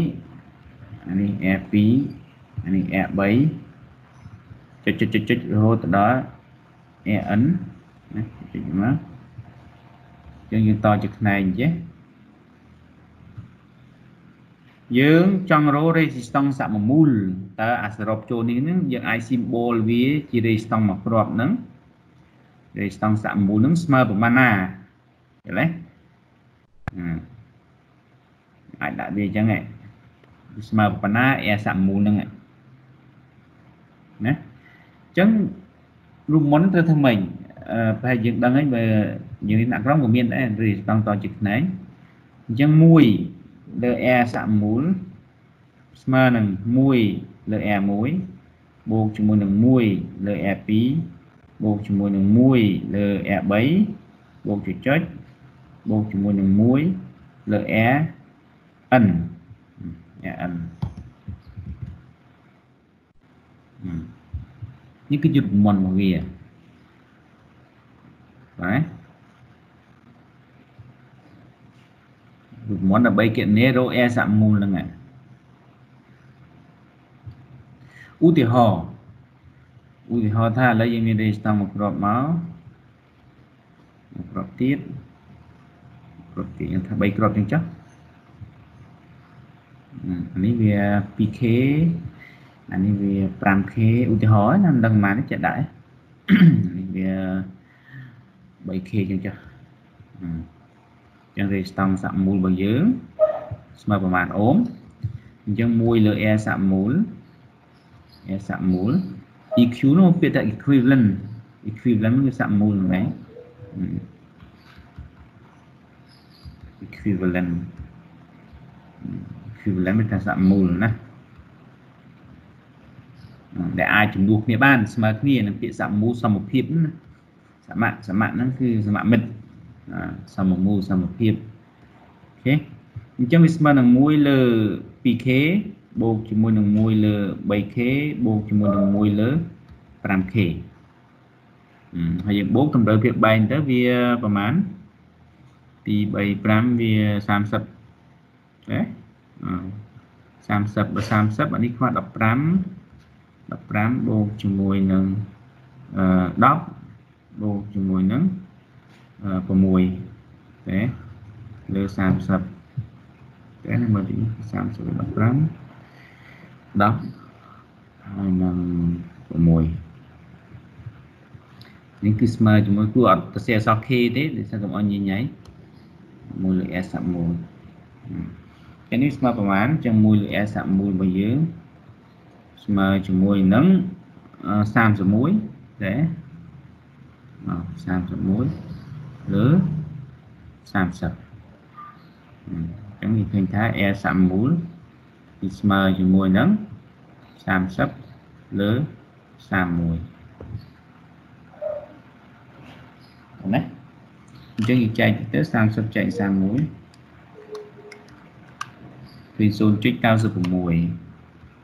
0.96គីឡូអូមអញ្ចឹងរេស៊ីស្តង់សមមូលរបស់វាគឺស្មើប៉ុណ្ណឹងស្មើនឹងយើងយករេស៊ីស្តង់តែមួយគ្រាប់ ដែលមានតម្លៃស្មើនឹង 0.96k យកមក replace វាយកមកជំនួសឲ្យវាប៉ុណ្ណេះអញ្ចឹងយើងសាក simulator វាមើល stop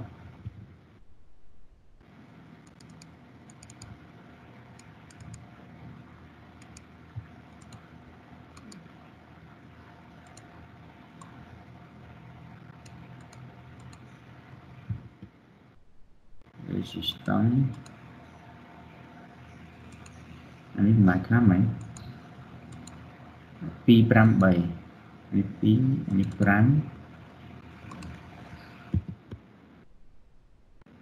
អានេះ3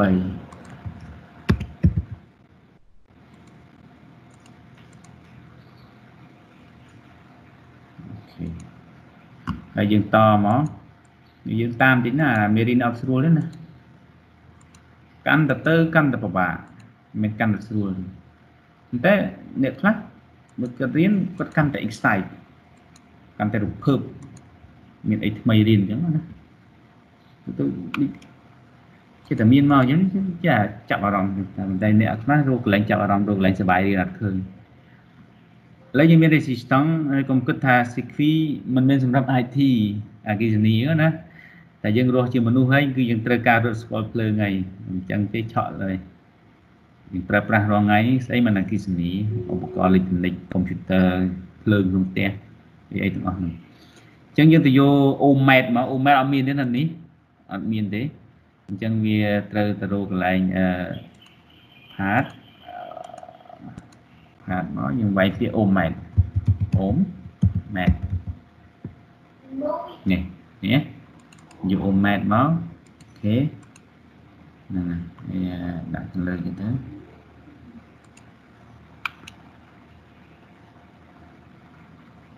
សួរបន្តិច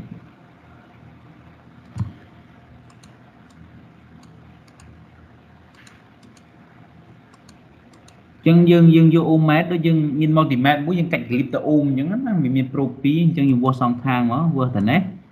ហើយនឹងវាស់ទៅនេះ វាឃើញប្រមាណអញ្ចឹងយើងរ៉ាន់វាមកនេះឃើញ967.74អូមបើយើងគិតជាគីឡូ0.96នឹងឯងវាដល់បាន1000វាអត់ទៅបាន1គីឡូទេអញ្ចឹងយើងគណនាឃើញ0.96នឹងឯង0.96 0.96k មានតែ 960k នឹងឯងប៉ុន្តែគ្រូយកក្រោយវាតែ2ខ្ទង់អញ្ចឹងវា96នេះ 0.96k អូខេ ដែលយើងដូរនេះដូចជាមានຂណាតគិតជា k យើងគិតទៅយើងចង់ឲ្យវាត្រូវយើងគណនានេះ0.96គីឡូអូម k អូមគីឡូអូមហ្នឹងហើយ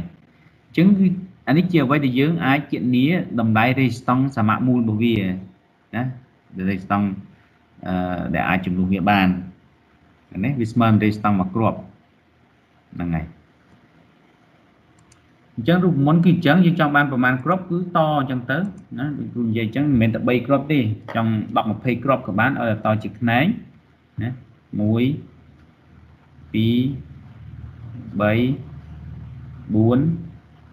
យើងតជាខ្នែងនេះមកយើងចង់ដឹងរេស្តង់សាក់មូលនិយាយហើយនិយាយទៀតរេស្តង់សាក់មូលមានតែវាស្មើរេស្តង់មួយគ្រាប់នោះណាដែលជំនួសឲ្យវាបានហ្នឹងយើងដកនេះក្វិតចោលហើយយកអាមួយគ្រាប់នោះមកជំនួសកន្លែងទីតាំងវានេះវិញ សេគិតមានលំនឹងធម្មតាអត់មានអីប្រែប្រួលទេតោះនេះនឹងគេថាសមមូលឬស្តង់សមមូល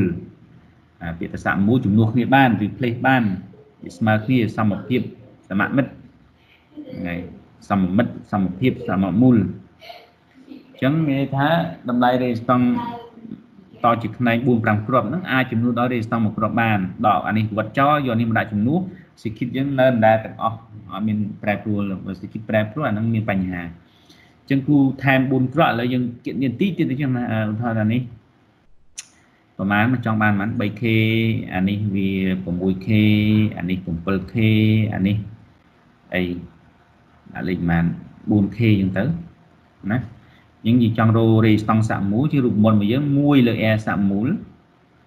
ណាយើងចង់រក array ស្តង់នេះ air សាក់មូលនេះ 1លើ air សាក់មូលគឺស្មើជាមួយនឹង1លើ air 1គឺ 3k បូកជាមួយនឹង1លើ air 2 6k បូកជាមួយនឹង 7k បូកជាមួយនឹង1លើ 4k តើនេះតើនេះហើយកុំឲ្យវិញឆ្ងាយយើងអាចចុច Casio យកក៏ដោយទៅណាវាអត់មានអីទេអឺ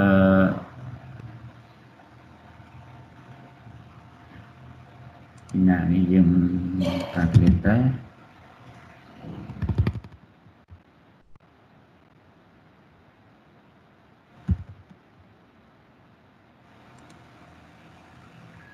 ជំនាញយើងតម្រូវភាព3អីក៏បានតែយើង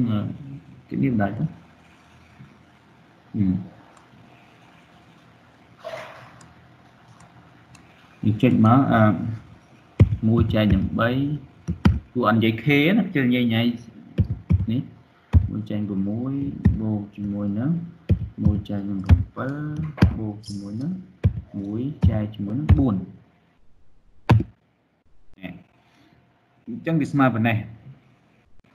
ស្មើប៉ុណ្ណេះមានតែម៉េចមានថា1លើ r សាក់មូលរបស់យើង1លើ r សាក់មូលគឺស្មើជាមួយនឹងនេះ0.8928ចឹងចុះណា0.8928 អីចឹងទៅអញ្ចឹងដើម្បីរក air សាក់មូលដើម្បីរក air សាក់មូលមានតែត្រូវយក1ទៅចែកដល់តម្លៃដែលយើងយកឃើញទៀតណា1ទៅយក1ចែកជាមួយនឹង0.8928ហ្នឹងឯងអញ្ចឹងនៅក្នុង Microsoft Math Calculator ហ្នឹងយើងអត់ចាំបាច់អីច្រើនទេជាងចម្លើយរបស់យើងគឺយក1ចែកជាមួយនឹងអាចចេញមកទៅ enter មកនេះ air សមមូលរបស់យើងគឺ 1.12k ទេណាអញ្ចឹង 1.12k តោះនេះទៅនេះអញ្ចឹង air សមមូលរបស់យើងគឺស្មើនឹង 1.12k ឥឡូវយើង simulator simulation អឺយើងថែម resistance មួយទៀតមិញអឺ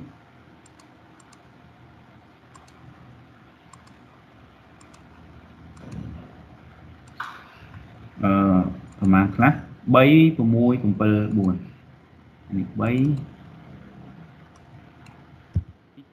3នេះដាក់ណាលើក្រោមក៏បានដែរអត់ចោតទេ6តែយើងវាយតាមនេះទៅ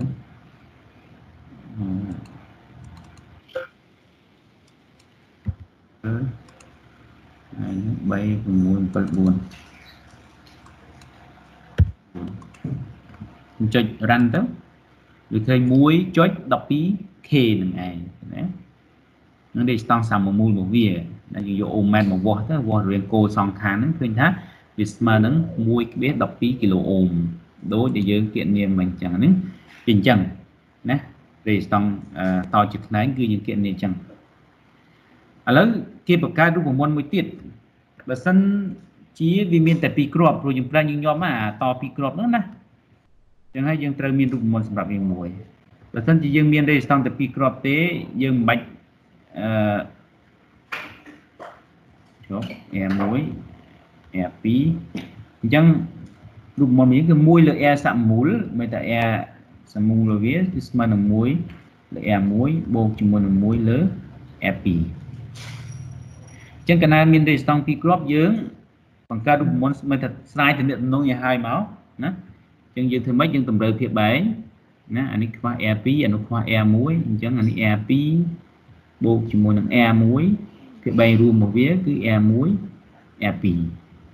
ខេហើយដែលយើងគុណយើងចង់រក r ស័កមូលមានតែយើងគុណច្រាស់អញ្ចឹង r ស័កមូលស្មើជាមួយនឹង r1 គុណនឹង r2 ចែកជាមួយនឹង r1 បូក r2 តើណារូបមុននេះគឺពេញនិយម ដោយសារអីភាគច្រើនគឺយើងមាន resistance តែពីរគ្រាប់ទេមិនមិនថាអាផ្សេងមិនមានទេគឺជាទូទៅគឺតពីរគ្រាប់អញ្ចឹងជាផ្នែកអញ្ចឹងអញ្ចឹងយើង apply រូបមុននឹងបដៅយើងមិនបាច់ដាក់1លើ r ស័កមូលស្មើ1លើ r 1បូក1លើ r 2ហើយគុណច្រើនអីដូចមិញទេតែចូល3គ្រាប់4គ្រាប់ទៅយើងប្រើអានេះរូបមន្តគោលរបស់វាណាអឺ3គ្រាប់គឺគេនៅគេនៅប្រើរូបមន្តបំលែងដែរមានអីពិបាក3គ្រាប់ តែជាទូទៅនិយមជាងគេគឺ2គ្រាប់អញ្ចឹងកាលណាមានស្តង់តជាផ្នែក2គ្រាប់អញ្ចឹងគឺគេយករូបមន្តតែ apply ហ្មងណាអញ្ចឹង r ស័កមូលឧទាហរណ៍ថា r នេះវាស្មើនឹង 4k អានេះវាស្មើនឹងអឺ 7k អញ្ចឹង r ស័កមូលរបស់វា r ស័កមូលរបស់វាស្មើនឹង4គុណនឹង7លើ4បូកជាមួយនឹង7 direct ចូលអញ្ចឹងហ្មងណាវាស្មើនឹងប្រមាណ28 លើ11ណាអញ្ចឹង28ចែក11ឃើញប្រមាណទៅចប់ហើយអញ្ចឹងយកអាចាំបាក់ចឹងគេមិនបាច់ចាំបាក់ apply រូបមន្តនេះវាវាឆ្ងាយអញ្ចឹងណាដោយសារវាប្រើញឹកញាប់អញ្ចឹងយើងសម្រាយវាឲ្យទៅសម្រាប់តែពិតរូបមន្តក្រោនវាចេញពីលើមកទៅមានណាទៅដូរវាទៅណាគាត់សម្រាយឲ្យហើយអញ្ចឹងណាតោះនេះទៅណាអញ្ចឹងរីស្តង់តជាផ្នែកមានប៉ុណ្ណឹង មានប៉ុណ្ណឹងអឺឆ្ងល់អីដែរចំពោះរីស្តង់តជាផ្នែកអីនេះ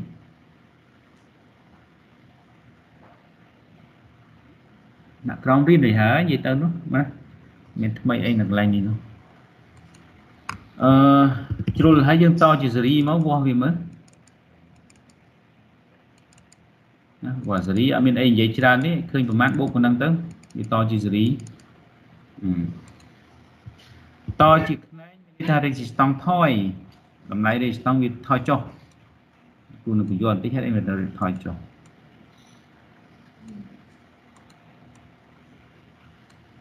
តជាសេរីអញ្ចឹងមកតជាសេរីតជាសេរីហើយយើងវាស់ចុងសងខាងហ្នឹងវាស្មើប្រហែលអូម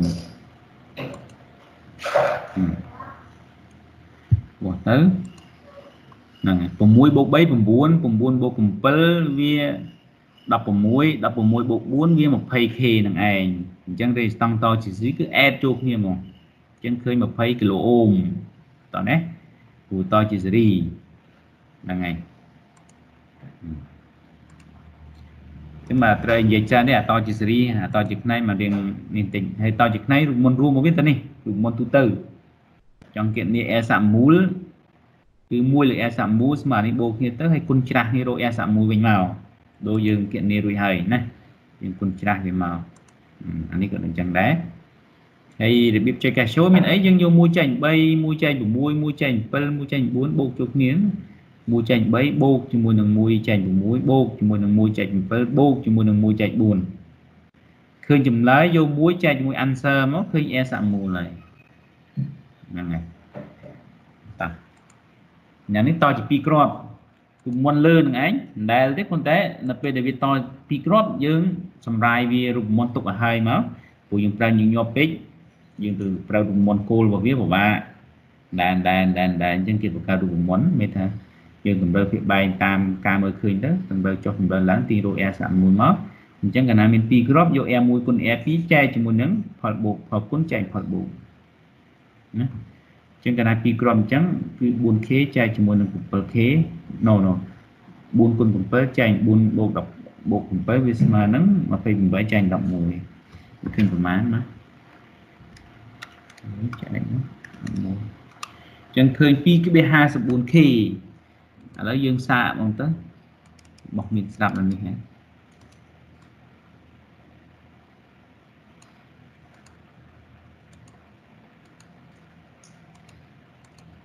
នេះ7យើងឃើញប្រហែល 2.54k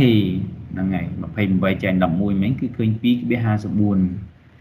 អញ្ចឹងយើងតជាផ្នែកទីក្រមអញ្ចឹងយើងកុំសាំញ៉ាំទៅអីទៅប្រើរូបមន្តលើអីណារូបមន្តគោលវាមិនបាច់ទេយើងប្រើរូបមន្តដែលយើងទាញទុកហើយឲ្យមកណាដល់គ្រូប្រយោគ concept របស់វាមានន័យថាម៉េចដែលយើងថាឧទាហរណ៍ថាយើងមាន resistance 3k 1k 7k 4k resistance សកម្មមូលរបស់វាមិនដែលធំជាងអាតូចជាងគេគឺដាច់ខាត់ចឹងឧទាហរណ៍ថាក្នុង resistance តជាផ្នែកយើងនេះយើងមាន resistance តូចបំផុតគឺ 3k 3k អញ្ចឹង resistance សកម្មមូលរបស់វាតម្លៃរបស់វាមិនដែលលើស 3k ដាច់ខាត់មិនដែលលើសអាតូចជាងគេមូលហេតុឥឡូវយើងនិយាយពី concept រួមមួយឧទាហរណ៍ថាយើងមានផ្លូវ highway មួយមកផ្លូវមុខពេទ្យប្រយ៉ាល់ចុះផ្លូវរុស្ស៊ីអពីស្ទះណាស្ទះកក់កុញឡានម៉ូតូមកច្រើនអញ្ចឹងទៅមានទៅមានមកប៉ុន្តែយើងនិយាយតែមួយខាងបានហើយហើយមានផ្លូវបំបែកផ្លូវអីទៅស្ទះកម្រិតស្ទះរបស់វាយើងនិយាយថា air អញ្ចឹងចុះ air មួយណាអ ពាក្យថាតជាផ្នែកមានថាយើងបង្កើតផ្លូវមួយទៀតណាឧទាហរណ៍ទៅផ្លូវនេះផ្លូវបែកផ្នែកកន្លែងនេះ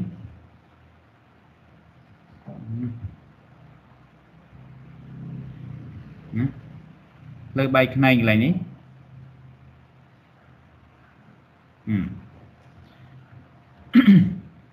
ចឹងមានចរាចរណ៍កន្លែងនេះដែរផ្លូវតូចផ្លូវធំមិនសំខាន់ទេវាមានបែកផ្នែកចេះ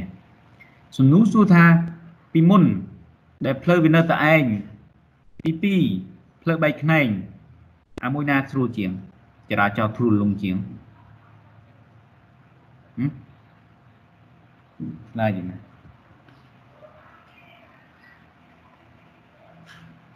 ហេឡូ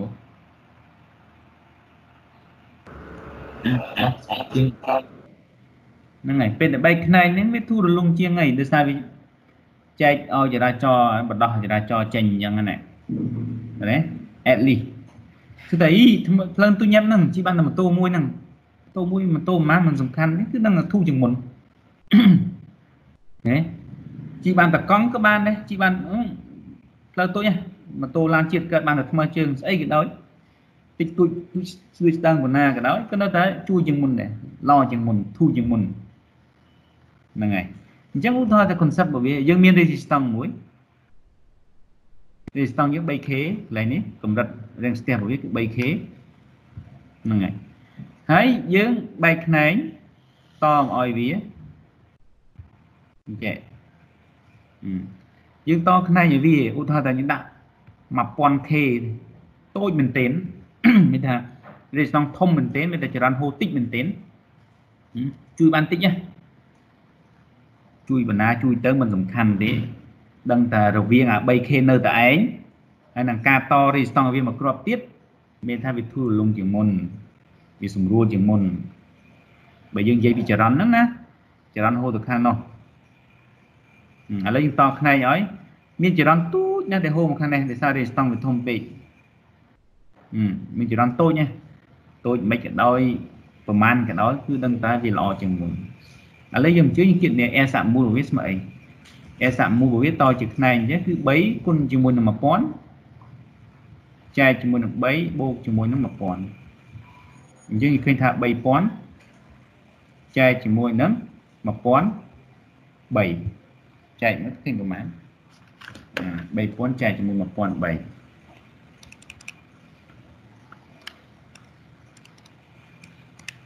ឃើញ2.99 1ឃើញ2.99 1គីឡូអូមឃើញទេព្រោះទោះបីជា resistance នឹងយកមកប្រប៉ុណ្ណានៃក៏ដោយ at least គឺវាជួយអញ្ចឹង resistance សាក់មូលរបស់វាឥឡូវហ្នឹងនៅសល់តែ 2.99k ទេណាវាមិនដែលធំជាង3ទេវាមិនដែលតជាខ្នែងរួចហើយសម្រួលជាងមុនហើយវាមិនដែល resistance ភាពរាំងស្ទះរបស់វាធំយ៉ាអានៅតែឯងទេ ដាច់ខាតចឹងហ្មងតើណាអឺឧទាហរណ៍ថាយើងមាន resistance resistance 1 resistance 2ហើយយើងតរហូតដល់1000គ្រាប់ចុះហឹម resistance ទី3ចុចចុចចុចមក resistance ទី1000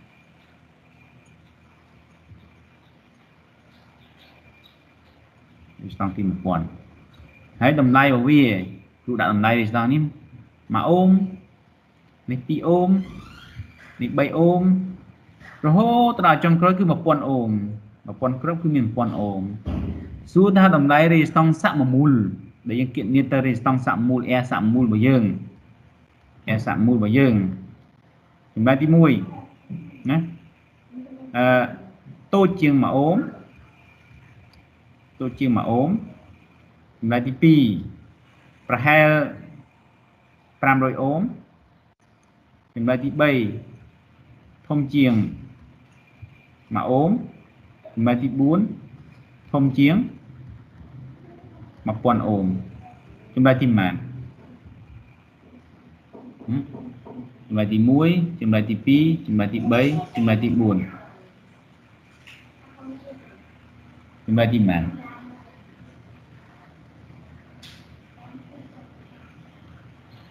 Allah ទី1ទី1ណាទីម៉ានមិនទី1គ្រូអឺចំណែកទី1នេះយើងអ្នកខ្លះនៅតែអត់យល់ថាយើងច្រើនដល់1000គ្រាប់ហើយមិនតែត្រូវតូចជាមួយនឹងវិញអានឹងតជាផ្នែកមិនតជាសេរីណា configuration របស់វាគឺយើងតជាផ្នែកហ្នឹងហើយយើងតជាផ្នែក បើតជាសេរីមែនយើងបូកទៅវាមិនមែនតូចជាមួយកើតទេមិនតែតជាខ្នែងតជាខ្នែងយើងសម័យតែចេះ resistance មួយគ្រាប់វាមានតម្លៃស្មើ1អូមទៅហើយភាពរាងស្ទះនៅក្នុងផ្លូវនេះណាណាអឺអាផ្លូវដើរកន្លែងហ្នឹងណាមានភាពរាងស្ទះស្មើ1អូមទៅហើយហើយបើយើងតច្រើនខ្សែច្រើនសរសៃទៀតនឹងឲ្យទៅវាស្ទះជាងមុនមិនដែលស្ទះជាងមុនកើតណាណាយើងមានផ្លូវតែមួយសរសៃយើងមានផ្លូវតែមួយសរសៃយើងស្ទះ1អូម យើងមានកម្រិតស្ទះរបស់យើង1អូមហើយបន្តខ្សែមួយខ្សែទៀតឲ្យវាវាំងឲ្យវាហើយផ្លូវវាំងឲ្យវាហើយវាស្ទះជាងមុនណាអេអាហ្នឹងវាធំណារីស្តង់ថងរីស្តង់បណ្ណាឲ្យធំបណ្ណាឲ្យលេងដាក់មកនេះមកអូមអឺយើងតផ្នែកទៅអយប្រហែលអឺពាន់ម៉ឺនសែនអូមយើងចុះមួយលានអូម ណាយើងតឲ្យមួយលានអូមយើងអឺយើងគណនាតម្លៃយើងទាំងដឹងតែវាតូចជាមួយថាឥឡូវ1គុណជាមួយនឹង1លានចែកជាមួយនឹង1បូកជាមួយ1លានអឺវាស្តង់សាក់មូមអញ្ចឹងណាវាស្តង់សាក់មូយើងយក R1 គុណ R2 ណា R1 គុណជាមួយនឹង R2 ចែកជាមួយ R1 បូក R2 អឺ 1គុណនឹង1លានចែកជាមួយនឹង1បូកនឹង1លានឃើញបាន1គុណ1លានគឺ1លាន1បូក1លានគឺ1លាន1អឺ1លានចែក1លាន1ធំជាមួយដែរដូចដែរធំជាងឡើយមិនអា1លានចែកនឹង1លាន1អញ្ចឹងវាតូចជាង1អញ្ចឹងបានថា resistance សមមូលរបស់វាវាមិនដែលតូចជាងឬមិនដែលធំជាងអា resistance ដែលតូចជាងគេទេ បើវានៅតែវាវាតម្លៃវាស្ទះមួយអូមទៅហើយតខ្នៃវាវាមិនដែលស្ទះជាងមុនវាទៅធូរជាងមុននេះធូរមិនបាននេះឡើងមួយលានមួយលានអីមួយលានទៅវាប្រសើរជាអត់ដែរយក concept នេះណាធម្មតាធម្មតាយកអត់ចង់និយាយទេបើវាប្រសើរជាអត់ទេបើយើងផ្ដាច់ចោលវាមិនអត់ឈឹងហ្មងឥឡូវតខ្នៃហីថារេស្តង់ធំបណ្ណាក៏ដោយអត់ខ្វល់ទេដល់ទៅជួយជាងមុនវាធូរជាងមុន ចរន្តរត់បានខ្នេះផងក៏នោះផងបើតោះនេះតូចប៉ុណ្ណាក៏ដោយតិចប៉ុណ្ណាក៏ដោយมันសំខាន់សំខាន់គឺវាគ្រាន់បើជាងមុនណាអញ្ចឹងណាយល់ទេអញ្ចឹងដល់ពេលយើងគិតនាមតម្លៃ resistance សាក់មួយយើងអាច verify បានថាកាលណា resistance 3 4គ្រាប់តជាមួយគ្នាអញ្ចឹងឥឡូវយើងមើលលំហាត់ខាងលើយើងមាន data នេះអឺ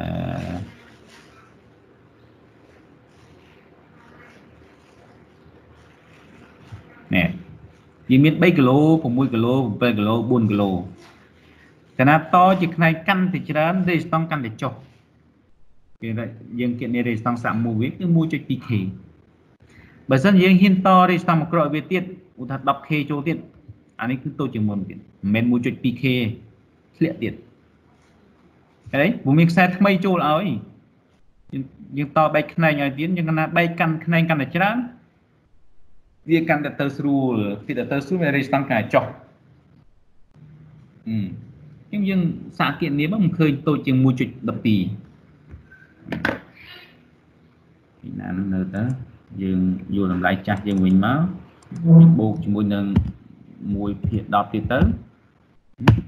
ហើយយក1ចែកជាមួយនឹង answer យើងនេះមកវាឃើញ1.00ណា មុនដែលយើងតមួយផ្នែកទៀតវា1.12ឥ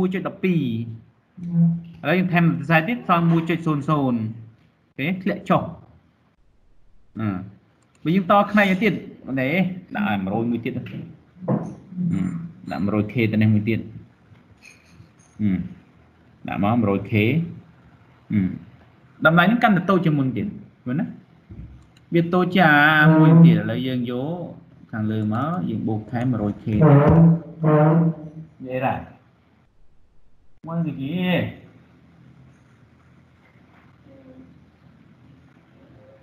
មួយចែកជាមួយនឹងកុំក្មេងនៅផ្ទះវាធុញវា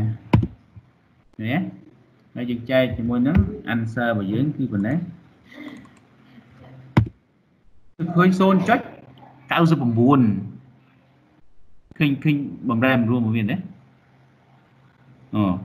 ណេះគឺឃើញ0.99ឃើញឃើញបំរែបំរួលមកវាណាអូអញ្ចឹងដែរតថែមនឹង100នោះ 100k ធំណាហើយទៅ 2 3k អានេះដល់100ប្រហែលប្រហែលទៅធានាបានថាតម្លៃរបស់វាមុននឹងក្រោយគឺអាក្រោយវាល្អជាងទោះយើងតនេះស្តង់ធំប៉ុណ្ណាឲ្យវាក៏ដោយ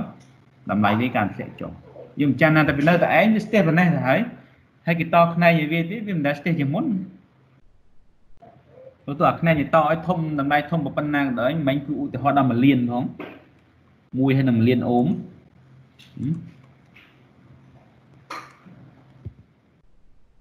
មួយហើយនឹង1លានអូមយើងគិតមើលទៅនៅតែល្អជាងមុនវាស្តង់ពីគ្រាប់តជាងចេះនេះ1អូម1អេ1អេអញ្ចឹងចឹងនេះ1លានអូម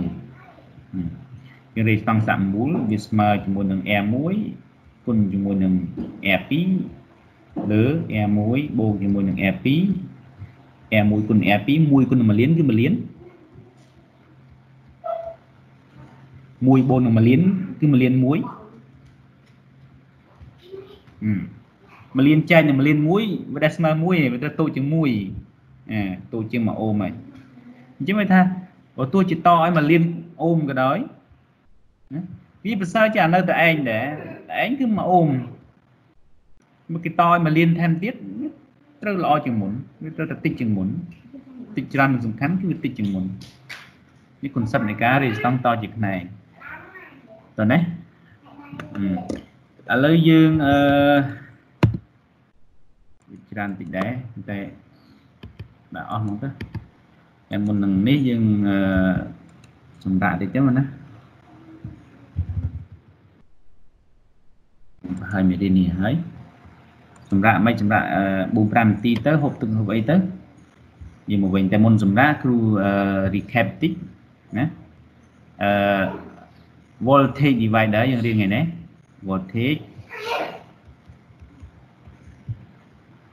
voltage divider ណាតជាសេរីកាលណាយើងមានប្រភពតង់ខ្យងមួយអញ្ចឹងយើងតយើងចែកឲ្យ resistance អីចឹងទៅ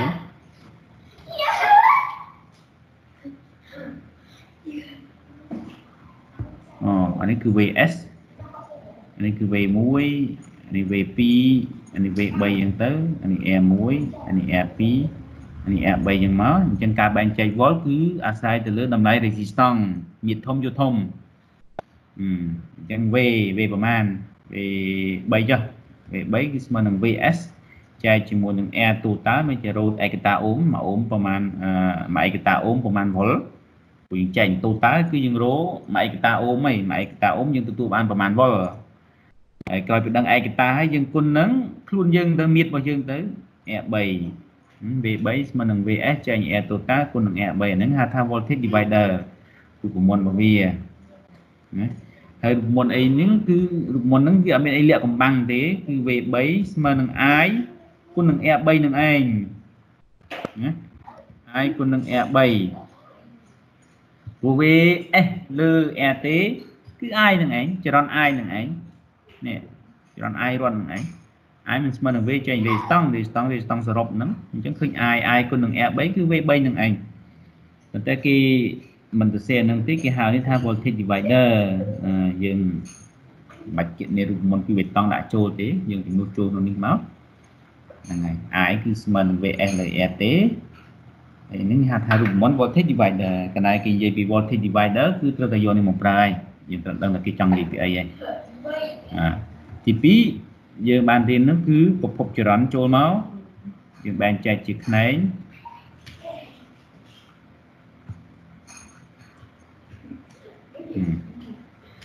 ពីក្របណានេះគឺ IS I មេទៅយកមេមុនចូលបែកជាផ្នែកគេថា នេះមកហៀន E1 E2 ឃើញទេហើយច្រណនេះ I1 ច្រណនេះ I2 តោះណាអញ្ចឹង I1 របស់យើងស្មើអី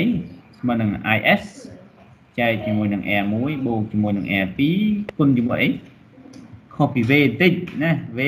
បើយើង3គុណនឹង R3 ហ្នឹងហើយ ដល់ពេលអាចរណ៍នេះអត់ទេទៅគុណជាមួយបោះគេទៅគុណជាមួយ R2 ដល់ I2 ដូចគ្នារូបមន្តប៉ុន្តែគុណជាមួយ R1 R1 បូកជាមួយ R2 គុណជាមួយ R1 ហើយមូលហេតុរបស់វាយើងបានស្រាយហើយរូបមន្តនៅខាងលើអាចមើលឡើងវិញបាននេះស្រាយហ្នឹងណាព្រោះ V ស្មើអញ្ចឹងទៅ KCL មកទាញចុះឡើងទៅវាអញ្ចឹងមែន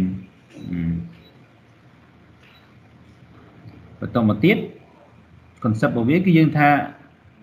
R តូចចរន្តធំ R តូចចរន្តធំអញ្ចឹង R តូច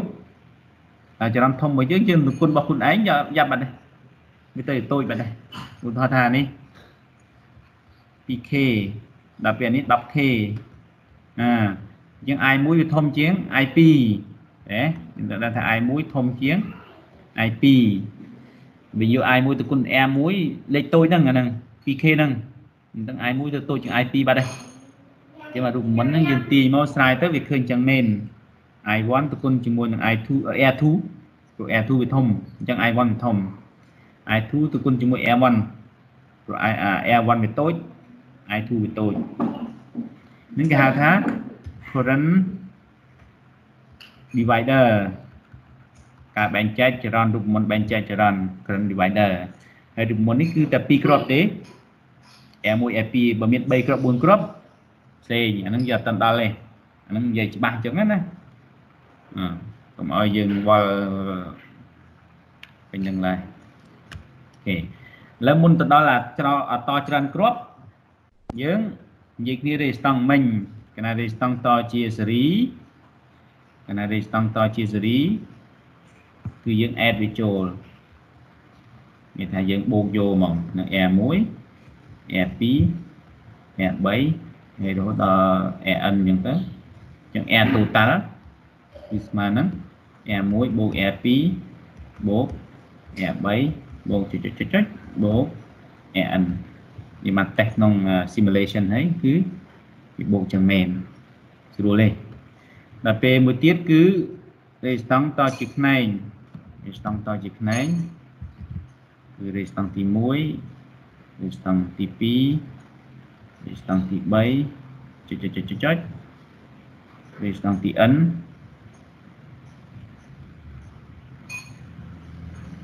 ហ្នឹងហើយកណា resistance តជាផ្នែកចេះអឺយេអត់ស្អាតហ្នឹងហើយនេះគឺ R1 R2 R3 រហូតដល់ RN RN អញ្ចឹងយើងចង់រោ resistance ចន្លោះគោលនេះណា resistance សាក់មូលចន្លោះគោលនេះដែលយើងអាចចំនួនដោយ resistance មកគ្រាប់បានគេហៅថា resistance សាក់មូលហ្នឹង resistance ដែលស្មើគ្នាហ្នឹងអញ្ចឹងរូបមន្តគឺ1លើ r សាក់មូលស្មើនឹង1លើ r1 បូកជាមួយនឹង1លើ r2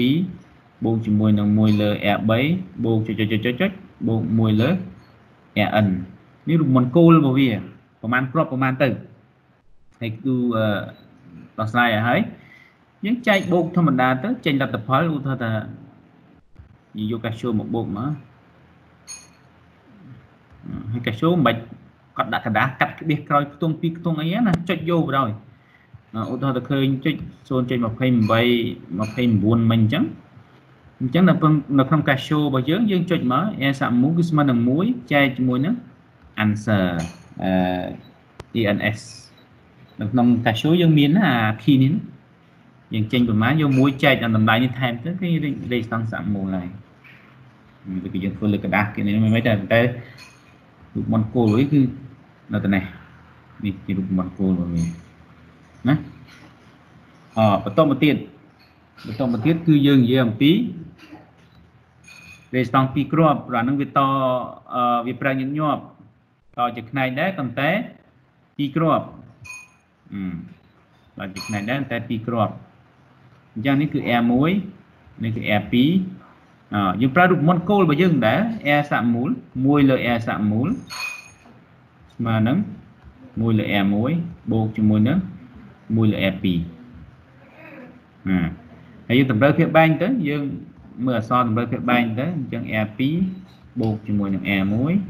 លើ R2 គុណជាមួយនឹង R1 នេះគឺ1លើ R សាក់មូលអញ្ចឹង R សាក់មូលយើងនៅខាងក្រោមអញ្ចឹងយើងគុណច្រាស់មកអញ្ចឹង R សាក់មូលរបស់យើងគុណខ្វែងមកគឺស្មើជាមួយនឹង R1 R2 លើ R1 បូកជាមួយនឹង R2 ហើយកុំអោយច្រឡំជាមួយអាលើណាលើតច្រើនគ្រាប់រូបមន្តគោលវាអញ្ចេះ ឥឡូវយើងតទៅពីរគ្រាប់រូបមន្តគោលវាគឺយើងយកមកអណ្ដែលប៉ុន្តែយើងស្រាយទៅយើងចំណាំទុកទៅព្រោះវាប្រើញញប់ពេកហ្នឹងហើយប្រើញញប់ពេកយើងទៅឈ្នះអណ្ដែលអណ្ដែលទៅធ្វើប្រភេទអញ្ចឹងទៅអីយើងគុណយកចែកយកឲ្យទៅណាគុណឲ្យចែកណាបូកវាទៅផលគុណចែកផលបូកចប់អញ្ចឹងយើង recap មកដល់ចំណុចនេះមានថាយើងអឺ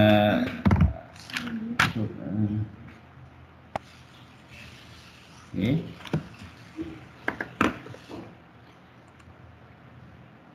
9កន្លះ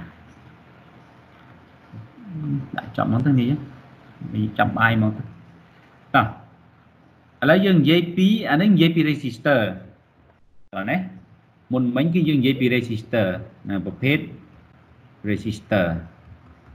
ឬក៏ resistance តម្លៃ resistance ហ្នឹងយើងចង់គិតតម្លៃវាឥឡូវនេះយើងនិយាយអំពីអឺ conductor វិញ conductance ពូយើងដឹងហើយតាំងដោយអក្សរអក្សរអី G តាំងដោយអក្សរ G ក្នុងទំនាក់ទំនងមួយគឺ G ស្មើនឹង1លើ R ហើយ R ស្មើនឹង1លើ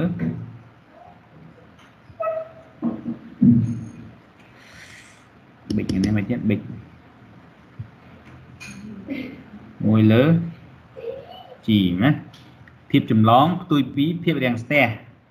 និង conductance សមត្ថភាពអនុញ្ញាត permission permit ហ្នឹងក្នុងកម្រិតចឹងឥឡូវយើងមានអឺមកខាងនេះព្រោះអានឹងគឺជួបដែរគឺចង់បង្ហាញហើយយើងមានរីស្តង់តចិញ្ចេះមកយើងមានរីស្តង់តចិញ្ចេះមកនេះ R1 នេះ R2 នេះ R3 អានេះ R4 ចឹងចាស់ឬក៏ឈប់អឺដល់ AN បណ្ដោយ1 2 3ចុចចុចចុច AN ហ្នឹងអានេះ A1 នេះ A2 នេះ A3 នេះ AN កាលណារីស្តង់តជាសេរីអញ្ចឹង air total របស់យើង air total ឬក៏ air សាក់មូលក៏បានដែរណា air ដូចគ្នាតាមណា air សាក់មូលវិញគឺ total នឹងឯងស្មើជាមួយនឹង air 1បូក air 2បូកនឹង air 3បូកនឹងចុចចុចចុចចុចបូកជាមួយនឹង air n តោះណាឥឡូវបើយើងចង់ទៅសេជា conductor ណាព្រោះ resistance មួយគ្រាប់យើងអាចអឺ represent វាជា conductor បានណាឥឡូវយើងចង់ទៅសេជាអឺ conductor យើងសេមកអឺឧ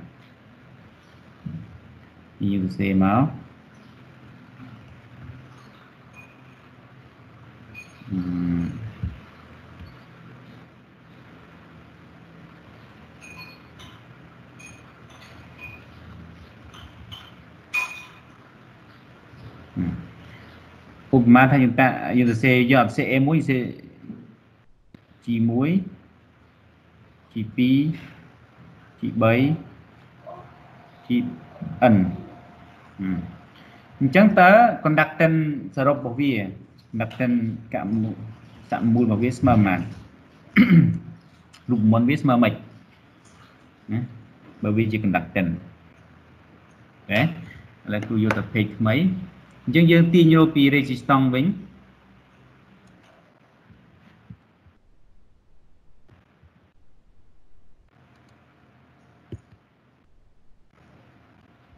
អឺកន្លែងនេះគឺ អាចទៅសេចេះបានដែរ1ចែកជាមួយនឹង1លើ A1 បូកជាមួយនឹង1ចែកជាមួយនឹង1លើ A2 បូកជាមួយនឹង1ចែកជាមួយនឹង1លើ A3 សេចេះបានដែរបានអត់មើលទៅឧទាហរណ៍តលេខ4 យើងអាចសរសេរបានថា1ចែកជាមួយនឹង1លើ4វាគុណច្រាស់មែនទៅមិនដូចគ្នាយល់ទេតាណា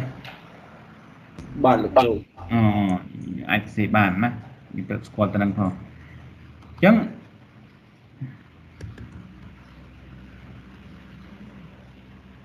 យេរ៉ាអ បូកជាមួយបិចនេះវាអត់សំដងមិនបូកជាមួយនឹង1ចែកជាមួយនឹង1លើ an រូបមន្តលើនិងរូបមន្តក្រោមអត់មានខុសគ្នាណាដូចគ្នាវាដាក់ណាច្រឡំថាខុសគ្នាអត់ទេអា a មួយអាចទៅសេជាតម្រងចេះបានប្រភពចែកប្រភពយើងមិនគុណខ្វែងហើយមិនបាន a មួយដែរហ្នឹងហើយស្មើអញ្ចឹងមក អញ្ចឹងយើងស្មើជាមួយនឹង1ចែកជាមួយនឹង1លើ a1 គឺស្អីមិន z1 បូកជាមួយនឹង1លើ a2 គឺ z2 បូកជាមួយនឹង1លើ a3 គឺ z3 បូកជាមួយចុចចុចចុចចុចបូកជាមួយនឹង1លើ gn gn ហើយនេះគឺ resistance សមូល តោះណាទេស្តង់សាក់មូលរបស់យើងបើយើងចង់គណនាតាមរបៀប conductance យើងត្រូវបូកចែកមិនបូកឆៅដល់លើណាប្រយ័ត្នណាមុនចែកដាច់ណាកាលណាតជាសេរីបើយើងនិយាយពីតម្លៃ resistor គឺវាបូកឆៅយ៉ាងមកប៉ុន្តែបើយើងនិយាយពីតម្លៃ conductance វាដូចយើងទៅសេក្នុងរូបមន្ត resistance តជាខ្នែងទុយទៅទុយមកហ្នឹងហើយ ចឹង1លើ Z1 1លើ Z2 1លើ Z3 បូកទៅ1លើ Zn ចឹងទៅណាឥឡូវយើងទៅ page ថ្មីតិចទៀត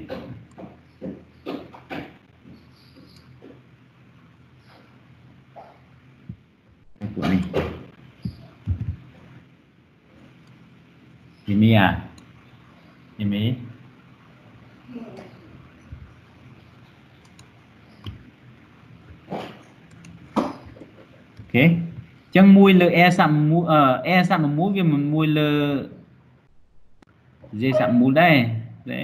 តង់គឺច្រាស់កណ្ដាក់តង់ណាទេស្តង់កណ្ដាក់តង់អញ្ចឹងមួយលើ air សាក់មូលគឺស្មើជាមួយនឹងមួយលើ j1 plus មួយលើ j2 plus មួយលើ j3 បូកមួយលើជា បាទណាហឹមអញ្ចឹងកាលណារេស្តង់តជាសេរីបើយើងគិតនេះតាម conductance គឺរូបមុនចេះបើយើងគិតនេះតាម resistance គឺបូកចេះអញ្ចឹង resistance តជាសេរីគឺ add up conductance តជាសេរីគឺគិតនេះតាមរូបមុនខ្នែងវិញដោយ resistance គិតនេះខ្នែងអញ្ចឹងណាតាមមិនទាន់ហ្នឹងណាត្រូវបាត់ band flexible កន្លែងនេះបន្តិច វាអត់មានញញ៉ៃទេមួយជាសមត្ថភាពស្ទប់ស្កាត់មួយជាសមត្ថភាពចម្លងអញ្ចឹងកាលណាតបស្កាត់តជាស៊េរីវា add up ហើយ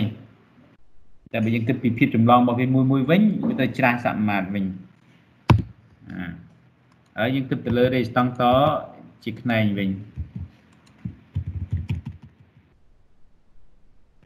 យើងមិននិយាយពីអាស៊េរីរួចហើយណាយើងនិយាយពីស៊េរីរួចហើយឥឡូវយើងនិយាយពីខ្នែង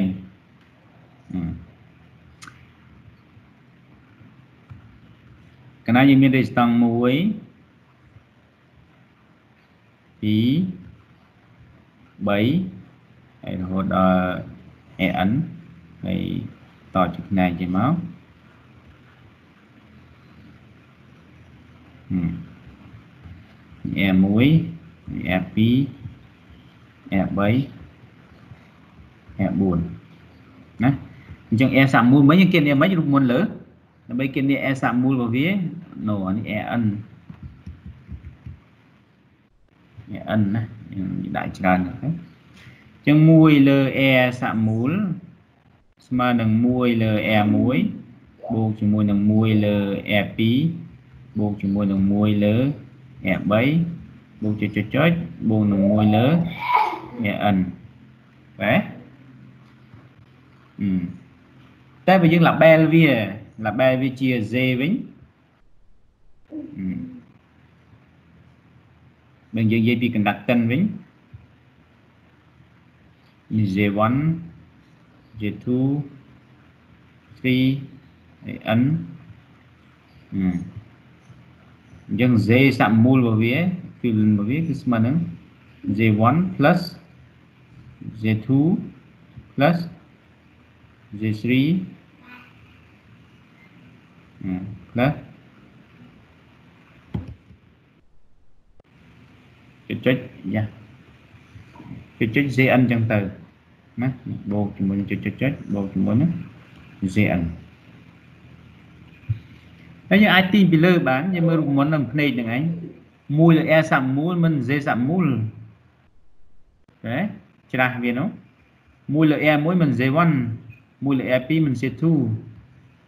មូលមិន Z សាក់មូលហ៎ច្រាស់វានោះមួយលើ R1 មិន Z1 មួយលើ R2 មិន Z2 មួយលើ R3 មិន Z3 បូកចុចចុចចុចមួយលើ RN គឺ ZN តោះនេះតោះនេះអឺអញ្ចឹងបន្តថាចែកវាដាច់ទី1កាលណាមាន resistance តជាសេរីកាលណា resistance តជាសេរី air total របស់វាគឺស្មើនឹង air 1បូកជាមួយនឹង air 2បូកជាមួយនឹង air 3បូកជាមួយនឹង air សរុបតែចុងក្រោយមាន air សរុបទេ air n air n ណាដល់ពេលអានេះ air 1 air 2 air 3អានេះ air n ប៉ុន្តែ cyclic serine ដែរបើយើងបំលែងវាទៅជា conductance បើយក air 1 mua chanh chân cần đặt conductance J1 dễ thú chân chỉ cần đặt tần dễ vĩnh. Dễ J3 Jn rồi đấy bây giờ mình lấy nhiều E muối ដើម្បីបាន J មួយគឺមួយលើ E មួយមួយលើ E2 មួយលើ E3 đặt EN អញ្ចឹងទៅកាលណាយើងមានជា conductor អញ្ចឹងអញ្ចឹង vào សមមូលរបស់វា conductance សមមូលរបស់វាស្មើអីនោះយើងមិនផ្សេងអញ្ចឹងទេចឹងដើម្បី row resistance conductance សមមូលគឺ1លើ conductance សមមូលគឺស្មើនឹង1លើ J1 1លើ J2 1លើ J3 ចុចចុចចុចចុច1លើ JN ណានេះចែកវាដាច់ចឹងតជាសេរី resistance បូកចូលគ្នា conductance តជាសេរីរូបមន្តវាដូចអាចតជាផ្នែករបស់ resistance ប៉ុណ្ណឹងវាច្រាស់នេះណាពីនេះហ្នឹងអញ្ចឹងគូនិយាយឲ្យទៅពេលជួលលំហាត់ជួបអីទៅច្រឡំទៅបូកឃើញ J1 C2 តជាសេរីភាគច្រើនគឺបូកចូលគ្នាព្រឹបហ្មងអត់ទេខុសហើយតជា resistance มันបូកចូលគ្នា បើ Z តជាសេរីវាគិតចេះវិញអឺដល់ពេលអាខាងនេះវាផ្ទុយគ្នាដែរណា resistance តជាខ្នែង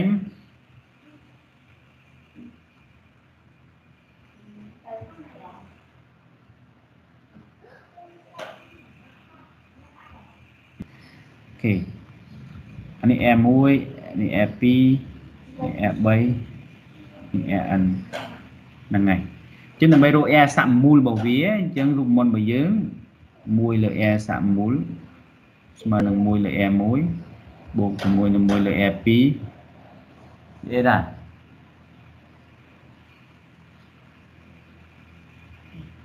1លើ R3 បូកចុចចុចចុចចុចបូកជាមួយនឹង1លើ RN ហេហើយបើយើងបំលែងមកបើយើងចង់សរសេរជា conductor វិញ 1លើ R សមមូលគឺ Z សមមូល1លើ R1 គឺ Z1 1លើ R2 គឺ Z2 1លើ R3 គឺ Z3 ចុចចុចចុចចុចបូកជាមួយនឹង1លើ RN គឺ ZN ណាអញ្ចឹងវាឆ្លាស់គ្នាចឹងអាពីរហ្នឹងអឺអញ្ចឹងបើយើងមាន resistance យើងមាន resistance យើងមាន resistance ហើយ resistance ដែរតមក ហ្នឹងហើយបើយើងសរសេរជា conductance G1 G2 G3 GN អញ្ចឹង G សមូលរបស់វាគឺស្មើនឹងនេះបូកចូលអញ្ចឹងតើណាចាប់បានទេតើណា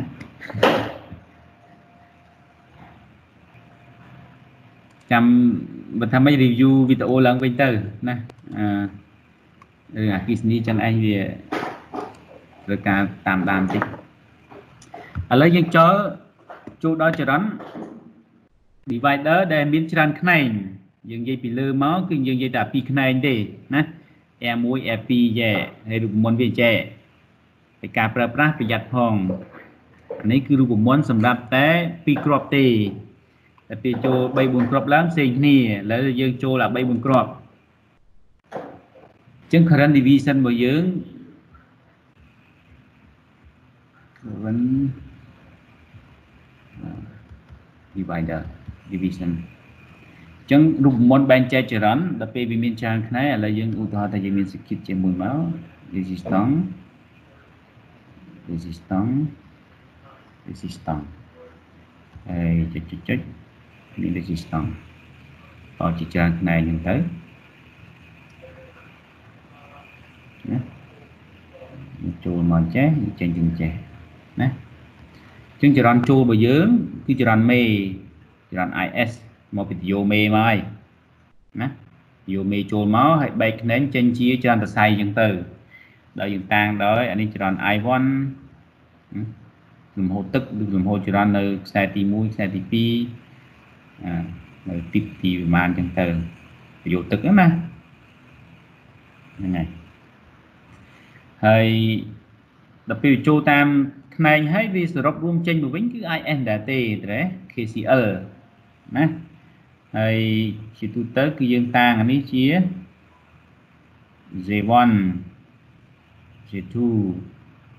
J3 N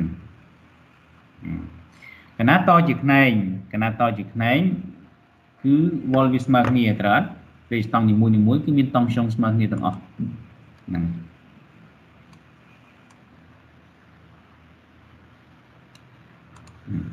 ពេលស្តង់នីមួយនីមួយគឺមានតង់ខ្យងស្មើគ្នាឧទាហរណ៍ថាយើងថាតង់ខ្យងចន្លោះវានេះ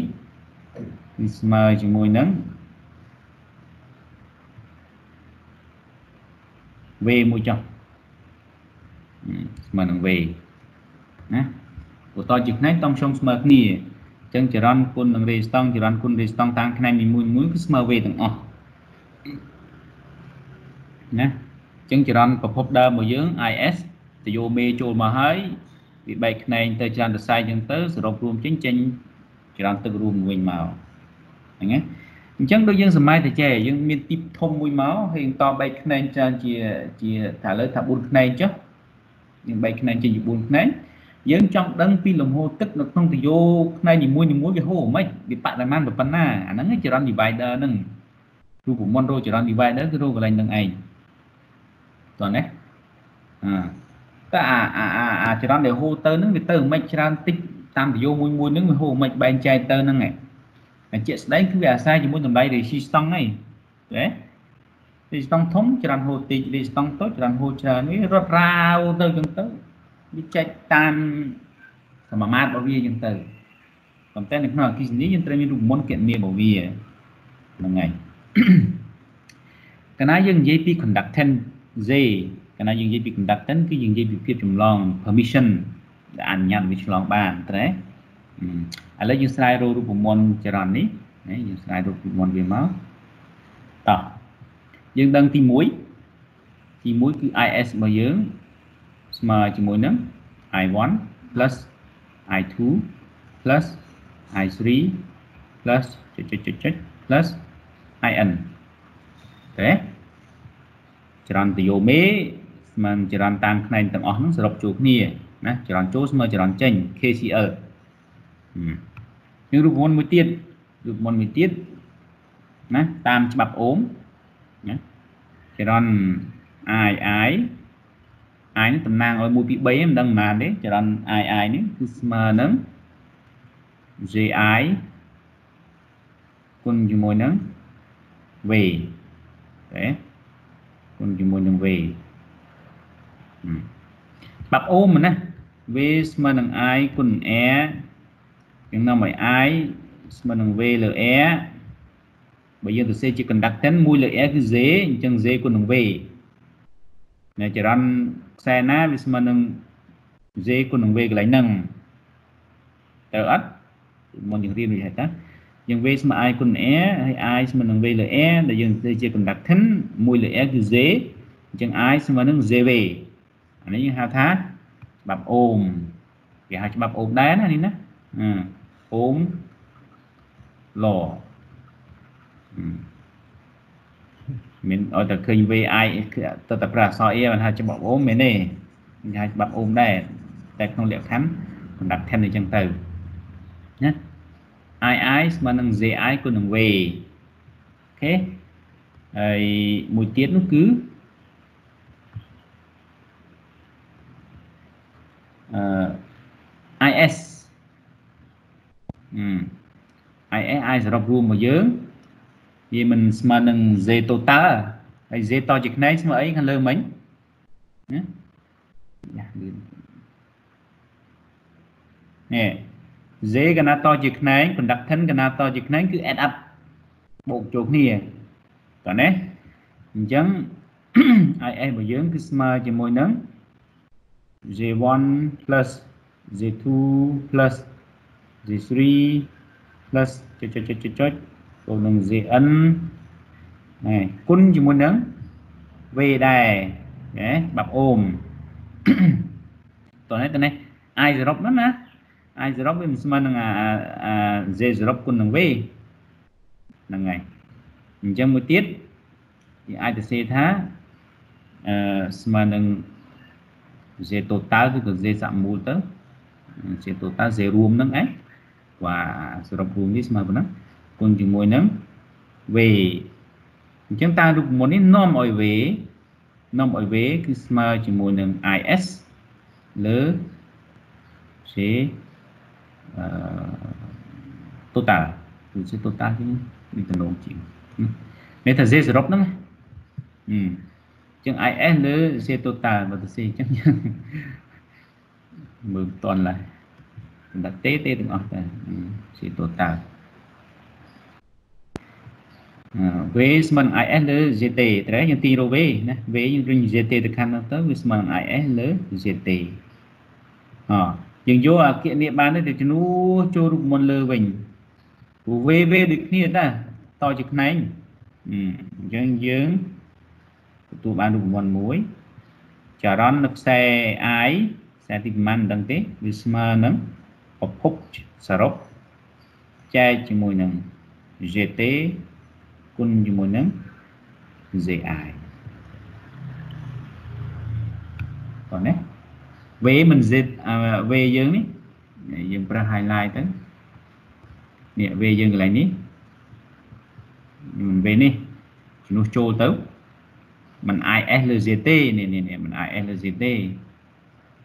នេះ is លើ z ទេហើយ gi របស់យើង G ផង Z ផងមិនទេវាបារាំងអង់គ្លេសពេញហ្នឹង GI ហ្នឹងទៅអញ្ចឹងរូបមន្តនេះរូបមន្តលើនឹងឯងនេះរូបមន្តលើនឹងឯងបងណាចឹងឯងបានបរៀនពី conductance ហើយបើអញ្ចឹងនេះនិយាយរូបមន្តនេះអត់យល់ទេណាអូខេអញ្ចឹងចង់រោចរន្តក្នុងខ្សែណាមួយក៏ដោយចរន្តក្នុងខ្សែទី3 ចរន្តក្នុងខ្សែទី3ស្មើប្រមាណពែអញ្ចឹងវាស្មើនឹងចរន្តប្រភពចរន្តដើមចរន្តទយោមេចែកចេញជាឯកតាសេទេចែកចេញជាឯកតាហើយគុណយករបស់ខ្លួនឯងទៅ Z3 របស់យើងនឹងឃើញទេអឺបើយើងមើលរូបមន្តនេះវាស្តៀងនឹង voltage divider ប៉ុន្តែ voltage divider វាប្រើអី voltage divider វាប្រើអក្សរ air air សរុបហើយនឹង air 3ដល់ពេល current divider វាប្រើ conductance J ពោះ conductance concept របស់វាណា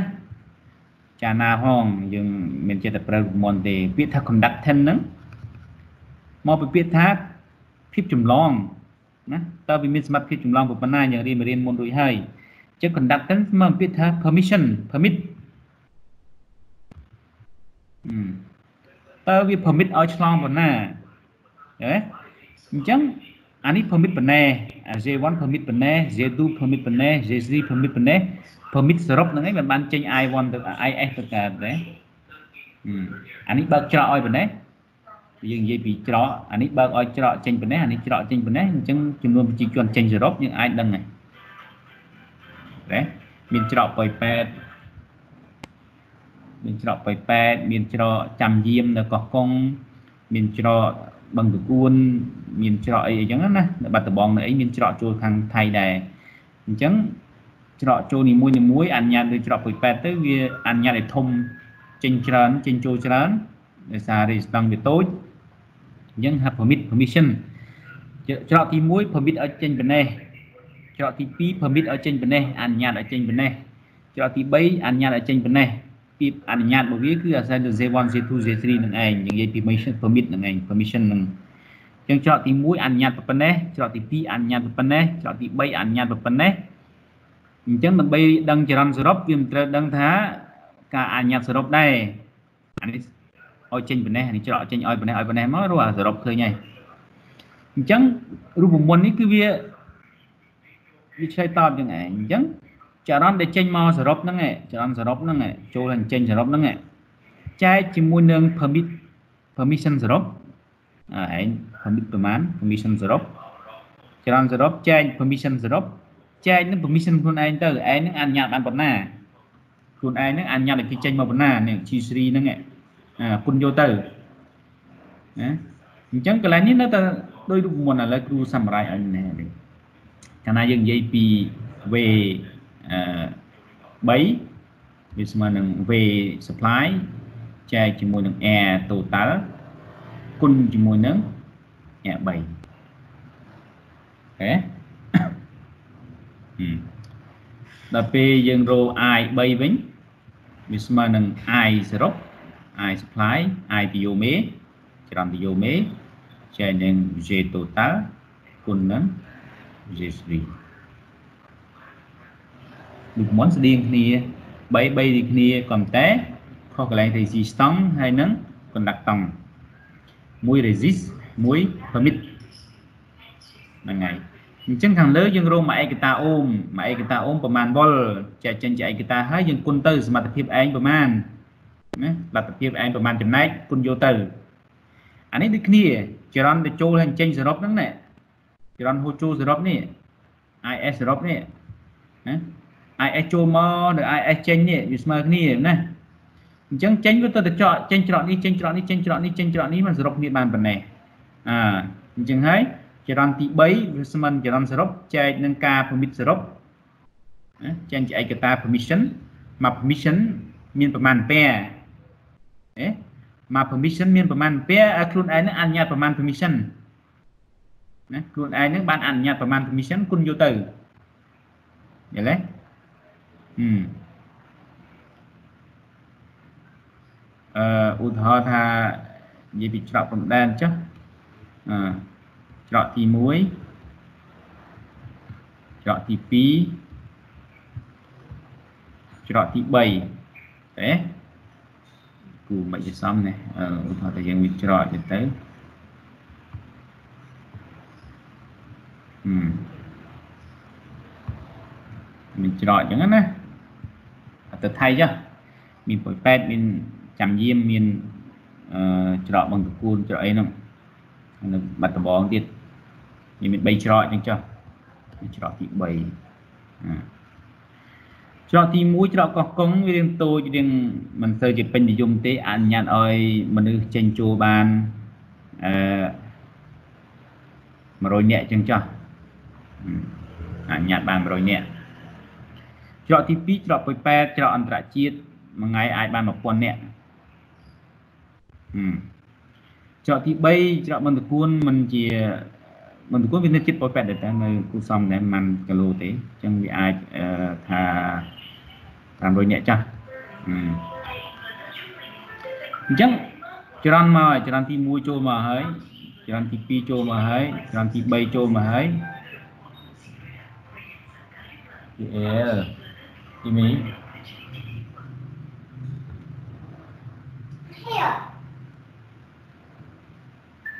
អឺហើយវាបានចរន្តសរុបណា IS ត្រេយើងបាន IS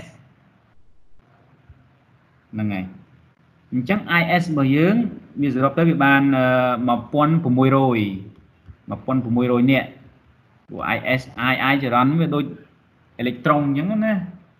ហ្នឹងហើយដូចម៉ូលេគុលទឹកអញ្ចឹងណាបើនិយាយពីប្រជាជនដូចចំនួនមនុស្សអញ្ចឹងទៅមួយក្របមួយក្របមួយក្របហ្នឹងឯងរត់ចូលបានអញ្ចឹងមកណាសរុបរួមនៅកន្លែង IS ហ្នឹងឯងពីថៃមកប៉ុណ្ណាពីថៃមកប៉ុណ្ណាធម្មតាថៃពីចេញមកអញ្ចឹងដែរវាដូចគ្នាចូលហើយចេញវាស្មើគ្នាណា IS យើងគឺ1600នាក់អឺតើណាអញ្ចឹងយើងគេនេះរូបមន្តដើម្បីនេះថា I1 នេះ I2 នេះ I3 និយាយនិយាយ concept នេះណារូបមន្តវាចេញរួចហើយតែនេះបញ្យក concept តាមស្ដាប់តិចទៅគឺមិនហ្នឹងណាតោះអញ្ចឹងដើម្បីរក I1 ដើម្បីរក I1 យើងត្រូវយក I សរុបហ្នឹងចែកនឹងចំនួនសរុបរបស់នេះអានេះប្រមាណ1600ហ្នឹងបូកគ្នាទៅឧទាហរណ៍ថាឥឡូវយើងអឺ ម៉េចបើយើងនិយាយពីចំនួនហ្នឹងវាទៅភ្លាវតិចព្រោះថាច្រកទី1ចេញបាន1ភាគច្រកទី2ចេញបាន10ភាគអញ្ញាតបាន10ភាគទី3បាន5ភាគ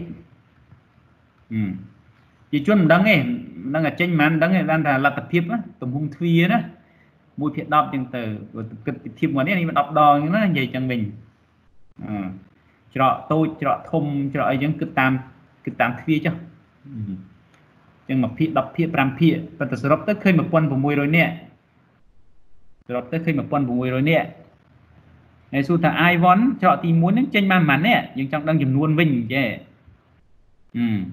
អញ្ចឹងយើងយកអាភាគសរុបរបស់វាភាគសរុបរបស់វា ហើយគុណជាមួយនឹងភាគរបស់យើងទៅរបស់យើងគឺមួយភាគយើងរកទៅមួយភាគបានប្រហែលនាក់ណា1600នាក់យើងមាន6 10ភាគអញ្ចឹងមួយភាគបានប្រហែលនាក់អញ្ចឹងយក1600នាក់យើងមានប្រហែលភាគ6 10ភាគយើងចែករកមួយភាគបានប្រហែលនាក់ហើយខ្លួនឯងអនុញ្ញាតបានប្រហែលអស់មួយភាគ អញ្ចឹងវាស្មើនឹង1600ចេញ16វាស្មើនឹង100នាក់ហ្នឹងឯងអាច្រកទី1បានអនុញ្ញាតមនុស្សមក100នាក់បានដាក់ចូលណាដាក់ចូលគេបាន100នាក់ច្រកទី2 i ទី2វាស្មើនឹង i សរុបចែកជាមួយនឹងចំនួនភាគសរុបគឺ16ភាគអឺយើងបានអនុញ្ញាតប្រហែលគេដែរមកនេះអូខ្ញុំបានអនុញ្ញាតបាន10ភាគមៀតរបស់ខ្ញុំទំហំរបស់ខ្ញុំហ្នឹងណាអឺយើងវាស្មើនឹង 1000នាក់អូអាទី2ហ្នឹងច្រកនេះបានដាក់មនុស្សចូលមក1000នាក់1000នាក់អឺច្រកទី3ដូចគ្នាដែរ16លើ1600លើ16ភាគគុណជាមួយនឹង5ភាគអីទៅឃើញទេស៊ីគីបយើងដូចគ្នាចរន្តមកឲ្យហូរមកចរន្តមេនេះចរន្តមេហូរមកឲ្យហើយវាចាក់ច្រាក់រាវទៅតាមច្រកមួយមួយចឹងទៅហូរចែកជើងគ្នាទៅ អាទី1ឯងអញ្ញាតមកប្រមាណណាអាទី2ឯងឲ្យមកប្រមាណណាអាទី3ឯងឲ្យប្រមាណអាទីប៉ុណ្ណេះឲ្យមកប្រមាណសរុបនឹងបានប៉ុណ្ណឹងឯងអញ្ចឹងដើម្បីរកចរន្តដែលរត់ក្នុងសរសៃនីមួយនីមួយយើងត្រូវរកចរន្តសរុបចែកចំនួនភាគពួក permit G1 permit ប្រមាណ G2 permit ប្រមាណ G3 ហ្នឹង permit ប្រមាណយកអា permit សរុបទៅយកអាចរន្តដែលរួចបានយកចេញ permit សរុបទៅគុណនឹងអា permit ខ្លួនឯងដែលបានអនុញ្ញាតមកចេញឲ្យរូបមន្តនឹង ណាអា i 3 ហ្នឹងវាស្មើនឹង i សរុបដែលចេញមកហ្នឹងចែកជាមួយ permission សរុបដែលយើងទទួលពីគ្រប់ច្រកមកគុណនឹងខ្លួនឯងហ្នឹងបានអនុញ្ញាតមកប៉ុណ្ណាហ្នឹងហើយរូបមន្ត current divider ជាចឹងច្បាប់បែងចែកចរន្តណាចរន្តមេចូលមកវាបែងចែកតាមមាត្រដ្ឋានយ៉ាងម៉េចតាមអត្រាយ៉ាងម៉េចច្បាប់បែងចែកចរន្តហើយរូបមន្តរបស់វាគឺអញ្ចឹងចាំទុកទៅ ហើយរូបមន្តរបស់វល់គឺ VS ដែរ V0 ចែកប៉ុន្តែចែក R total គុណនឹង R របស់យើងតោះណាសង្ឃឹមថាអ្នកនរគ្នាចាប់បានហ្នឹងហើយអញ្ចឹងកាលណាយើងមាន resistance មាន circuit តជាខ្នែងមាន DC តជាខ្នែងយើងចង់គណនាចរន្តតាមខ្នែងវា ណាយើងចង់គណនាចរន្តតាមខ្នែងយើងមានចរន្តចូលគឺ IS ចរន្តយោមេអានេះគឺមាន resistance R1 resistance R2 resistance R3 ហើយយើងចង់គណនារោចរន្ត I3 ហ្នឹងហើយយើងគណនានេះតាម resistance អត់កាទេយើងគណនាតាម Z អញ្ចឹង I3 ស្មើនឹង IS លើ Z total គុណជាមួយនឹង Z 3 អរបៀប rho Z យើងរៀនរួចហើយកណារេស្តង់តជាខ្នែងអញ្ចឹង Z total របស់វាគឺស្មើជាមួយនឹង J1 Z0 J1 Z2 Z3 គុណជាមួយនឹង G3 អ J1 មកយើងសរសេរទៅជាខាងលើវិញ IS J1 របស់យើងបើគេឲ្យចម្លើយជា resistance យើងបំលែងទៅ J1 យើងគឺ1លើ R1 នឹងឯងបូកជាមួយនឹង1លើ R2 បូកជាមួយនឹង1លើ R3 គុណជាមួយនឹង1លើ R3 នេះបើយើងចង់សរសេរជា resistance គឺសរសេរចេះណាតោះនេះមើលទៅតោះបើសិនជាយើងមាន resistance តទៅពីក្របវិញឥឡូវយើងសម្រាប់ទៅមុនដើមអាពីក្របមុនដែលយើងទៅធ្វើពីលើមកហ្នឹងអានេះគឺ resistance តពីក្របចេះចូលមកគឺ IS ហើយបានបែកខ្នែងទៅជា2គឺ I1 ហើយនិង I2 ហើយនេះគឺ resistance R1 អានេះគឺ resistance R2 ណាយើងចង់រក resistance I1 I1 របស់យើងយើងស្មើអីមានស្មើនឹង IS រូបមន្តគោលរបស់យើងគឺ GT គុណនឹង J1 ណាយើងស្មើនឹង IS GT របស់យើងគឺ1លើ R1 បូកជាមួយនឹង1លើ R2 គុណជាមួយនឹង1លើ R1 គុណជាមួយ1លើ R1 ណាអញ្ចឹងវាស្មើនឹង IS តម្រូវភាពបែងអញ្ចឹង R1 បូកជាមួយនឹង R2 លើ R1 គុណជាមួយនឹង R2 ហើយនេះយើងគុណជាមួយនឹង1លើ R1 ត្រូវអត់ហើយដល់ពេល R1 និង R1 នេះស្រួលហៀបានអញ្ចឹងហ៎អញ្ចឹងវាស្មើជាមួយនឹង IS លើ R1 បូក R2 អា R2 ខាងក្រោមភាព3រុញទៅលើវិញទៅគុណជាមួយនឹង R2 និយាយបានអារូបមន្តដើមយើងមុននៅលើនោះមុនយើងចូលដល់នេះនោះដែលគ្រូនិយាយថាតពីក្របពីក្របនោះនេះហ៎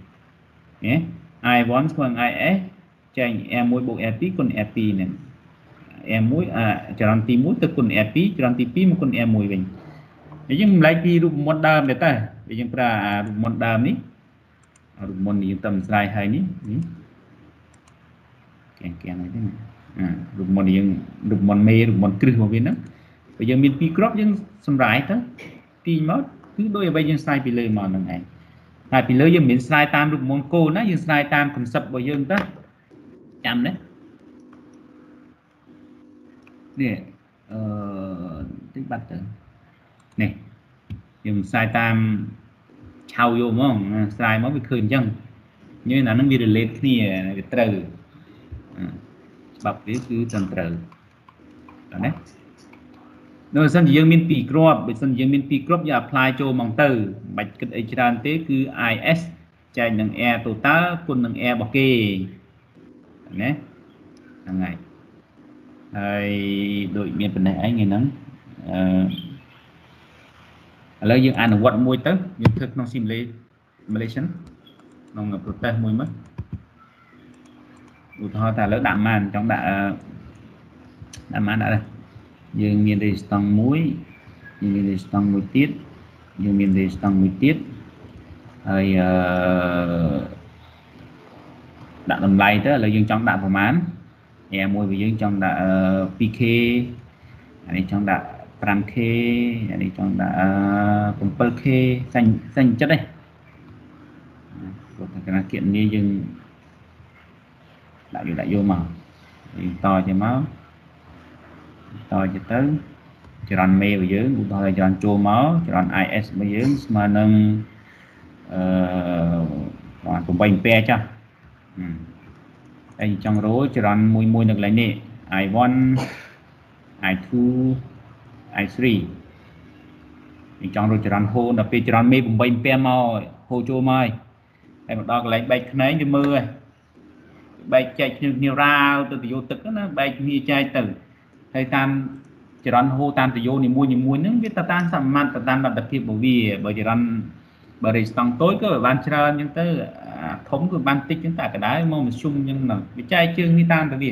តាមសមមាត្ររបស់វាអញ្ចឹងយើងគណនាចរន្តទៅវាហូរប៉ុណ្ណាចរន្ត I1 I2 នេះយើងគណនាមកតាមរូបមន្តគោលរបស់យើង I1 ស្មើជាមួយនឹង IS លើ GT G total គុណជាមួយនឹង J1 របស់យើងហើយយើងបំបីរូបមុននឹងទៀត IS J total គឺ1លើ R1 បូកជាមួយនឹង1លើ R2 បូកជាមួយនឹង1លើ R3 ហើយគុណនឹង J1 គឺ1លើ R1 ណាហើយយើងចុច Casio យកបែបទៅណានេះ IS របស់យើងគឺ8 8យើងចែកជាមួយនឹងអឺ1លើចំ L1 ហ្នឹងប៉ុន្មានមិញ មើលតិច257ណាចែកលើ2បូកជាមួយនឹង1ចែកនឹង5បូកជាមួយនឹង1ចែកជាមួយ7ហើយយើងយកទៅគុណជាមួយនឹងអឺមដាក់បង្ចប់ខាច់ច្រឡំ1ចែកជាមួយនឹង2ហើយដើម្បី verify ថាត្រូវខុសយើងមើលបន្តិចទៅព្រោះការពាក្យថា typing វាអាចខុសពីអ្វីដែលយើង expect នេះមើលកន្លែងនេះដូចខាងហ៎ខាងហ្នឹងហើយ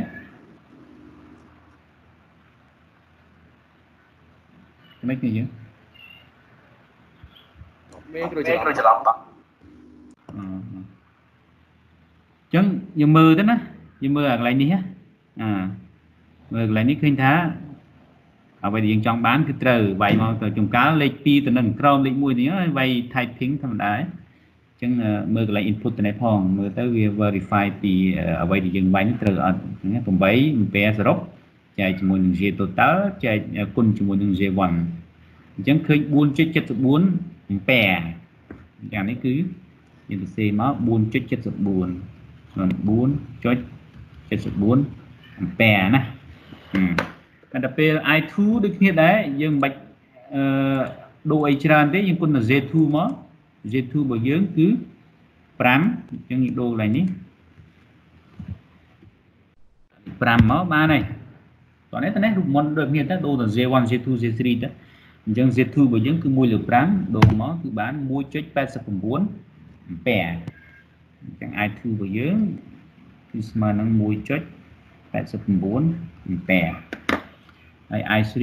ដូរដែរដូរឲ្យចុងក្រោយនេះទៀត យើងដាក់7ណា1លើ7ក្នុងទូរស័ព្ទមានដែរណាអាកាសូចឹងចឹងណាអាវា1.35អីរ៉ា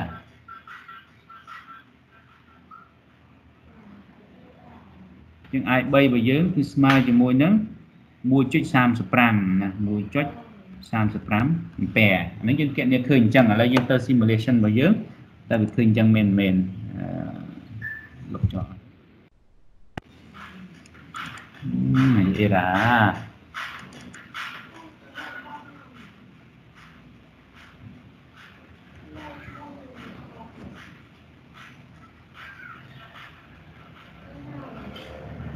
ហើយ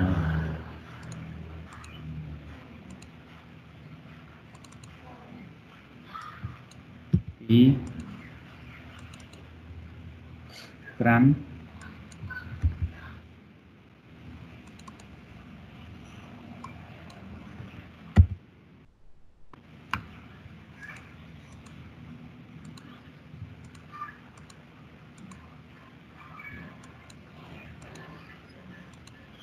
អូខេ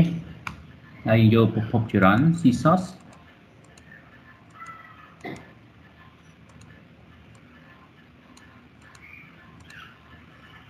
បន្ទគូជិះយើងដាក់5ម៉ែត្រការ៉េអឺអូ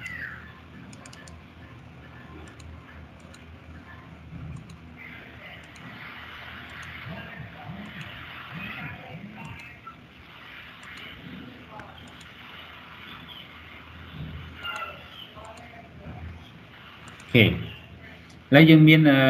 អានេះគឺ8 ampere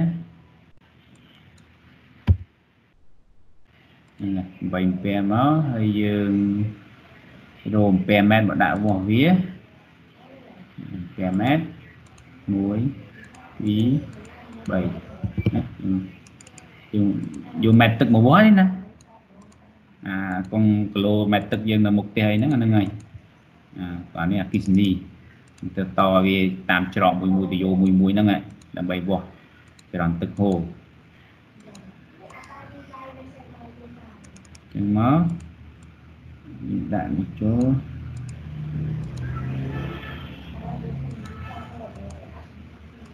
អូខេហើយយើងរ៉ាន់វា4.75 1.9 1.36ឥឡូវយើងមើលវិញហ្នឹងហើយ4.75គេប្រកបក្រោយក្បៀសណា 4.75 1.89គឺ1.9នឹងឯងហើយហ្នឹង1.36ហ្នឹងហើយអញ្ចឹងការគណនារបស់យើងគឺត្រឹមត្រូវដោយ simulation អញ្ចឹងអញ្ចឹងប្រភពចរន្តមក8 ampere ទៅយកមេចូលមកហើយវាបែកខ្នែងចេញជា3ចែកជើងគ្នាទៅទៅតាមអានេះ permit ប្រមាណអានេះ permit ប្រមាណអានេះ permit ប្រមាណយើងយក ampere សរុបចែកជាមួយ permission សរុប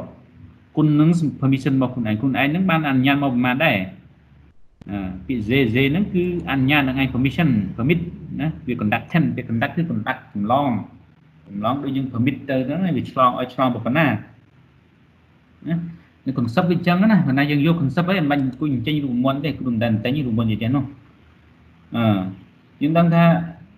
កាលណានិយាយពីចរន្តនិយាយពីលំហូរបើនិយាយពីលំហូរនិយាយពីការចម្លង conduction បើកាលណានិយាយពី conduction និយាយពី permission ច្រកមួយមួយវា permit ប្រមាណអញ្ចឹងយកចរន្តសរុបចែក permission សរុប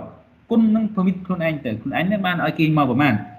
ច្រកឯងហ្នឹងណាឯងបានឲ្យគេឆ្លងមកប្រមាណគុណយកទៅយល់ទេអញ្ចឹងរូបមន្តវាទៅជាសាមញ្ញស្រួលវិញបើយើងចាប់ concept វាបានវាអត់ច្រឡំទេចង់និយាយចេះអឺ នៅក្នុងមេរៀននេះគឺមាន current division យើងមកដល់កន្លែងនេះហើយយើងរៀនពីរបៀបចែកចរន្តទៅ មានឧទាហរណ៍មានអីមើលណាឧទាហរណ៍ហ្នឹងមើលទៅចាំបាក់តែគ្រូមកអង្គុយបញ្យល់ទៀតទេវាមិនដែលរូបមន្ត I1 របស់យើងណាស្មើអីស្មើអីគុណគេទៅសេតនេះកុំឲ្យច្រឡំគេទៅសេប្រភពដើមមកវាមកខាងក្រោយចង់និយាយថាអឺនៅក្នុង slide មិញគ្រូទៅសេចេះ I1 ស្មើនឹង IS លើ GT គុណនឹង J1 ដល់ពេលក្នុងសភៅគេនិយមទៅសេចេះវិញ I1 ស្មើនឹង GT គុណជាមួយនឹង IS នៅក្រោយវិញអញ្ចឹងទៅយើងនិយាយថាច្រឡំណាស្អីគេនេះគ្នា IS ហ្នឹងឯងនេះ A J1 អង្ក្រមគឺ JT J គឺតម្លៃ resistance ហ្នឹងឯងណាយើងយកមកច្រាស់វាទៅណាហ្នឹងឯង ហើយកុំឲ្យឆ្ងល់ព្រោះគូផ្សេងចេះដើម្បីរំលឹកថាចរន្តមេចែកចេញជាឯកតា permission សរុបគុណនឹងច្រកខ្លួនឯង permission ប៉ុណ្ណាទៅយកទៅគុណយកទៅណាចរន្តមេដែលទទួលយកបានចែកនឹងច្រកដែលបានអនុញ្ញាតមកសរុបគុណនឹងខ្លួនឯងនឹងបានអនុញ្ញាតមកប្រមាណ permit មកប្រមាណពួក conductant permission ចម្លងខ្លួនឯងបានចម្លងមនុស្សមកប្រមាណ បានបើកច្រកឲ្យមនុស្សមកប្រមាណអាណាច្រកយកមនុស្សសរុបមនុស្សសរុបចែកជាមួយនឹងច្រកតាមមេត្រដ្ឋានសរុបចែកគុណនឹងច្រកខ្លួនឯងទៅណាព្រោះយើងច្រកតូចច្រកធំយើងគុណយកទៅហ្នឹងហើយអញ្ចឹងមើលរូបមន្តកុំឲ្យពេលឆ្ងាយកន្លែងហ្នឹងវាជាការសរសេរទេអញ្ចឹង V0 ស្មើអីហ្នឹងហើយក៏ចប់ទៅហើយមានឧទាហរណ៍មាន learning assessment មានអីចឹងណានៅតែចុងក្រោយមួយទៀតទេចុងក្រោយនោះគឺអឺនេះ series ហើយ parallel resistor យើងអត់ទេអត់ចេះរោណា R2 R នេះជាមួយ N នេះជាមួយ N នេះគឺតជា series 3ក្រុមតជា series អញ្ចឹងវា 6K តោះណា 6K អា 6K ណា 6K នេះតជាផ្នែកណា តជាផ្នែកតជាផ្នែកយើងគុណតាមរូបមន្តផ្នែកទៅវាបាន 3K 3K នេះនិង 3K លើនេះតជាសេរីនេះតជាសេរីហើយអញ្ចឹងយើងបាន 6K 6K 12K នេះតជាផ្នែកតជាផ្នែកតជាសេរីហើយតជាផ្នែកតជាផ្នែកហើយតជាសេរីអញ្ចឹងរក R សាក់មូលឃើញហើយយល់ទេរូបនេះរៀនធ្វើទៅ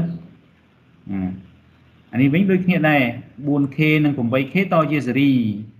តជាសេរីយើងរកទេស្តង់បានមួយគ្រាប់មួយគ្រាប់នោះមកខ្នែងជាមួយនឹងអា 210K នេះឃើញទេ 210K នេះហើយវាខ្នែងជាមួយ 3K នេះទៀតនេះកន្លែងខ្នួចវារួមនៅតំណែយល់ទេនេះរូបនេះវាគួចនៅកន្លែងនេះនេះ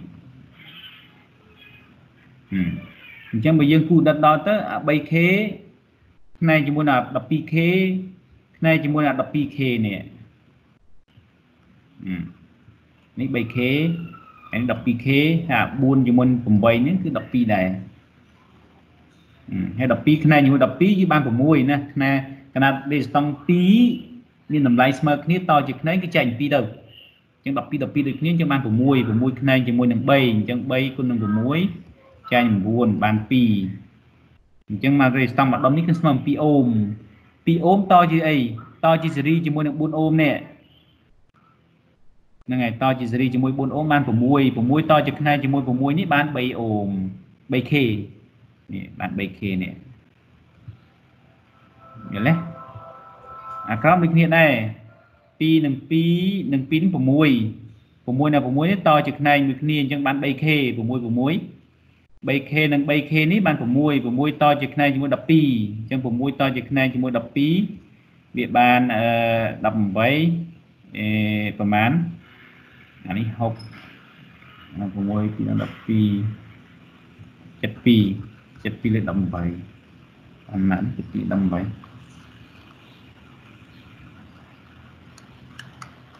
បាន4 4នេះតជាស៊េរីជាមួយ4ក្រោមនេះចឹងបាន8 8ផ្នែកជាមួយ8នេះចឹងបាន4ណាអញ្ចឹង4តជាស៊េរីជាមួយ4លើ4ក្រោម អញ្ចឹង4 3ដង12អញ្ចឹងស្មើ 12k ហ្នឹងហើយឲ្យវាឃើញអញ្ចឹងមកណាកុំឲ្យថាគេលាកអីមិនទេអានឹងរូបគេគូចុះឡើងប្រឡប់យើងទេយើងគាត់ដេញរោមួយមួយមកហ្នឹងហើយហើយមើលទៅវាមានអីឧទាហរណ៍គឺគេបរៀនយើងទៅបរៀនហ្នឹងឲ្យចលេខគណនាជាក់ស្ដែងទៅចាំកន្លែងណាឆ្ងល់ capture មកផ្ញើឲ្យគ្រូមកឲ្យសួរទៅ ហើយគ្រូ recommend ឲ្យសួរនៅក្នុង group កុំសួរជាលក្ខណៈ individual អឺការចម្ងល់របស់យើងជាចម្ងល់របស់គេដែរអញ្ចឹងឆ្លើយមួយបានទាំងអស់បើឆ្លើយតែមួយទៅមួយទៀតមកដែនដែនដែនដែនទៅសំណួរមួយសួរ10នាក់អីចឹងទៅនឹងឆ្លើយ10នាក់ដែរចាំបើយើងបោះចូល group ទៅគូឆ្លើយតែមួយចប់បណ្ដោយកុំខ្មាស់អៀនណាអារឿងឆ្ងល់រឿងមិនចេះកុំខ្មាស់នេះសួរទៅខ្មាស់គេយើងមិនចេះអានឹងស្រួលសោះសួរដែរអត់ទេរឿងគ្មានពាក្យតែខ្មាស់ទេពេលយើងរៀនហ្នឹងណា តែមានពាក្យខ្មាស់ទេរៀនគឺអភិវឌ្ឍ develop គេចេះរឿងរបស់គេខ្ញុំអត់ចេះរឿងរបស់ខ្ញុំអត់មាន relate អីគ្នាទេអ្នកឯងចេះរឿងរបស់អ្នកឯងតាមបែបផែនរបស់អ្នកឯងទៅខ្ញុំអត់ចេះរឿងរបស់ខ្ញុំខ្ញុំអត់ចេះមិនអភិវឌ្ឍមិនគេអភិវឌ្ឍមិនរឿងរបស់គេមិនគេចេះយើងចេះណារឿងអត់ត្រូវមានអីខ្មាស់គេទេហើយអញ្ចឹងទៅ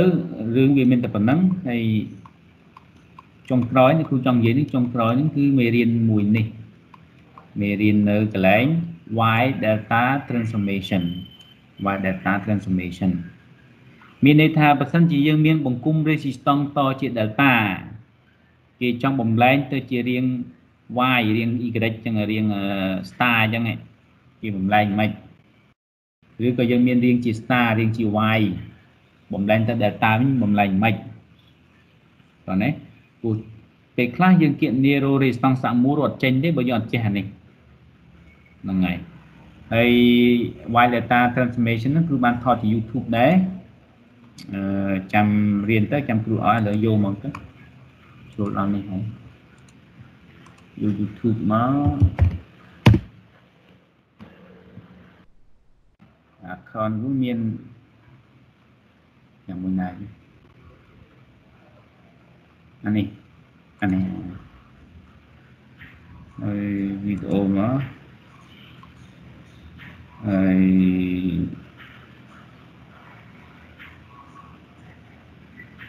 នេះ y data transformation នេះ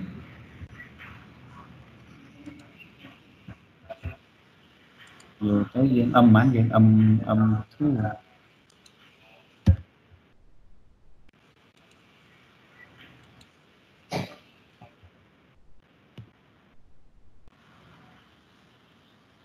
ហ្នឹងហើយមើលទៅណា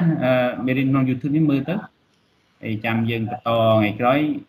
គឺនិយាយបន្ថែមទៀតវាលឿនអូខេអញ្ចឹងថ្ងៃហ្នឹងប៉ុណ្ណឹង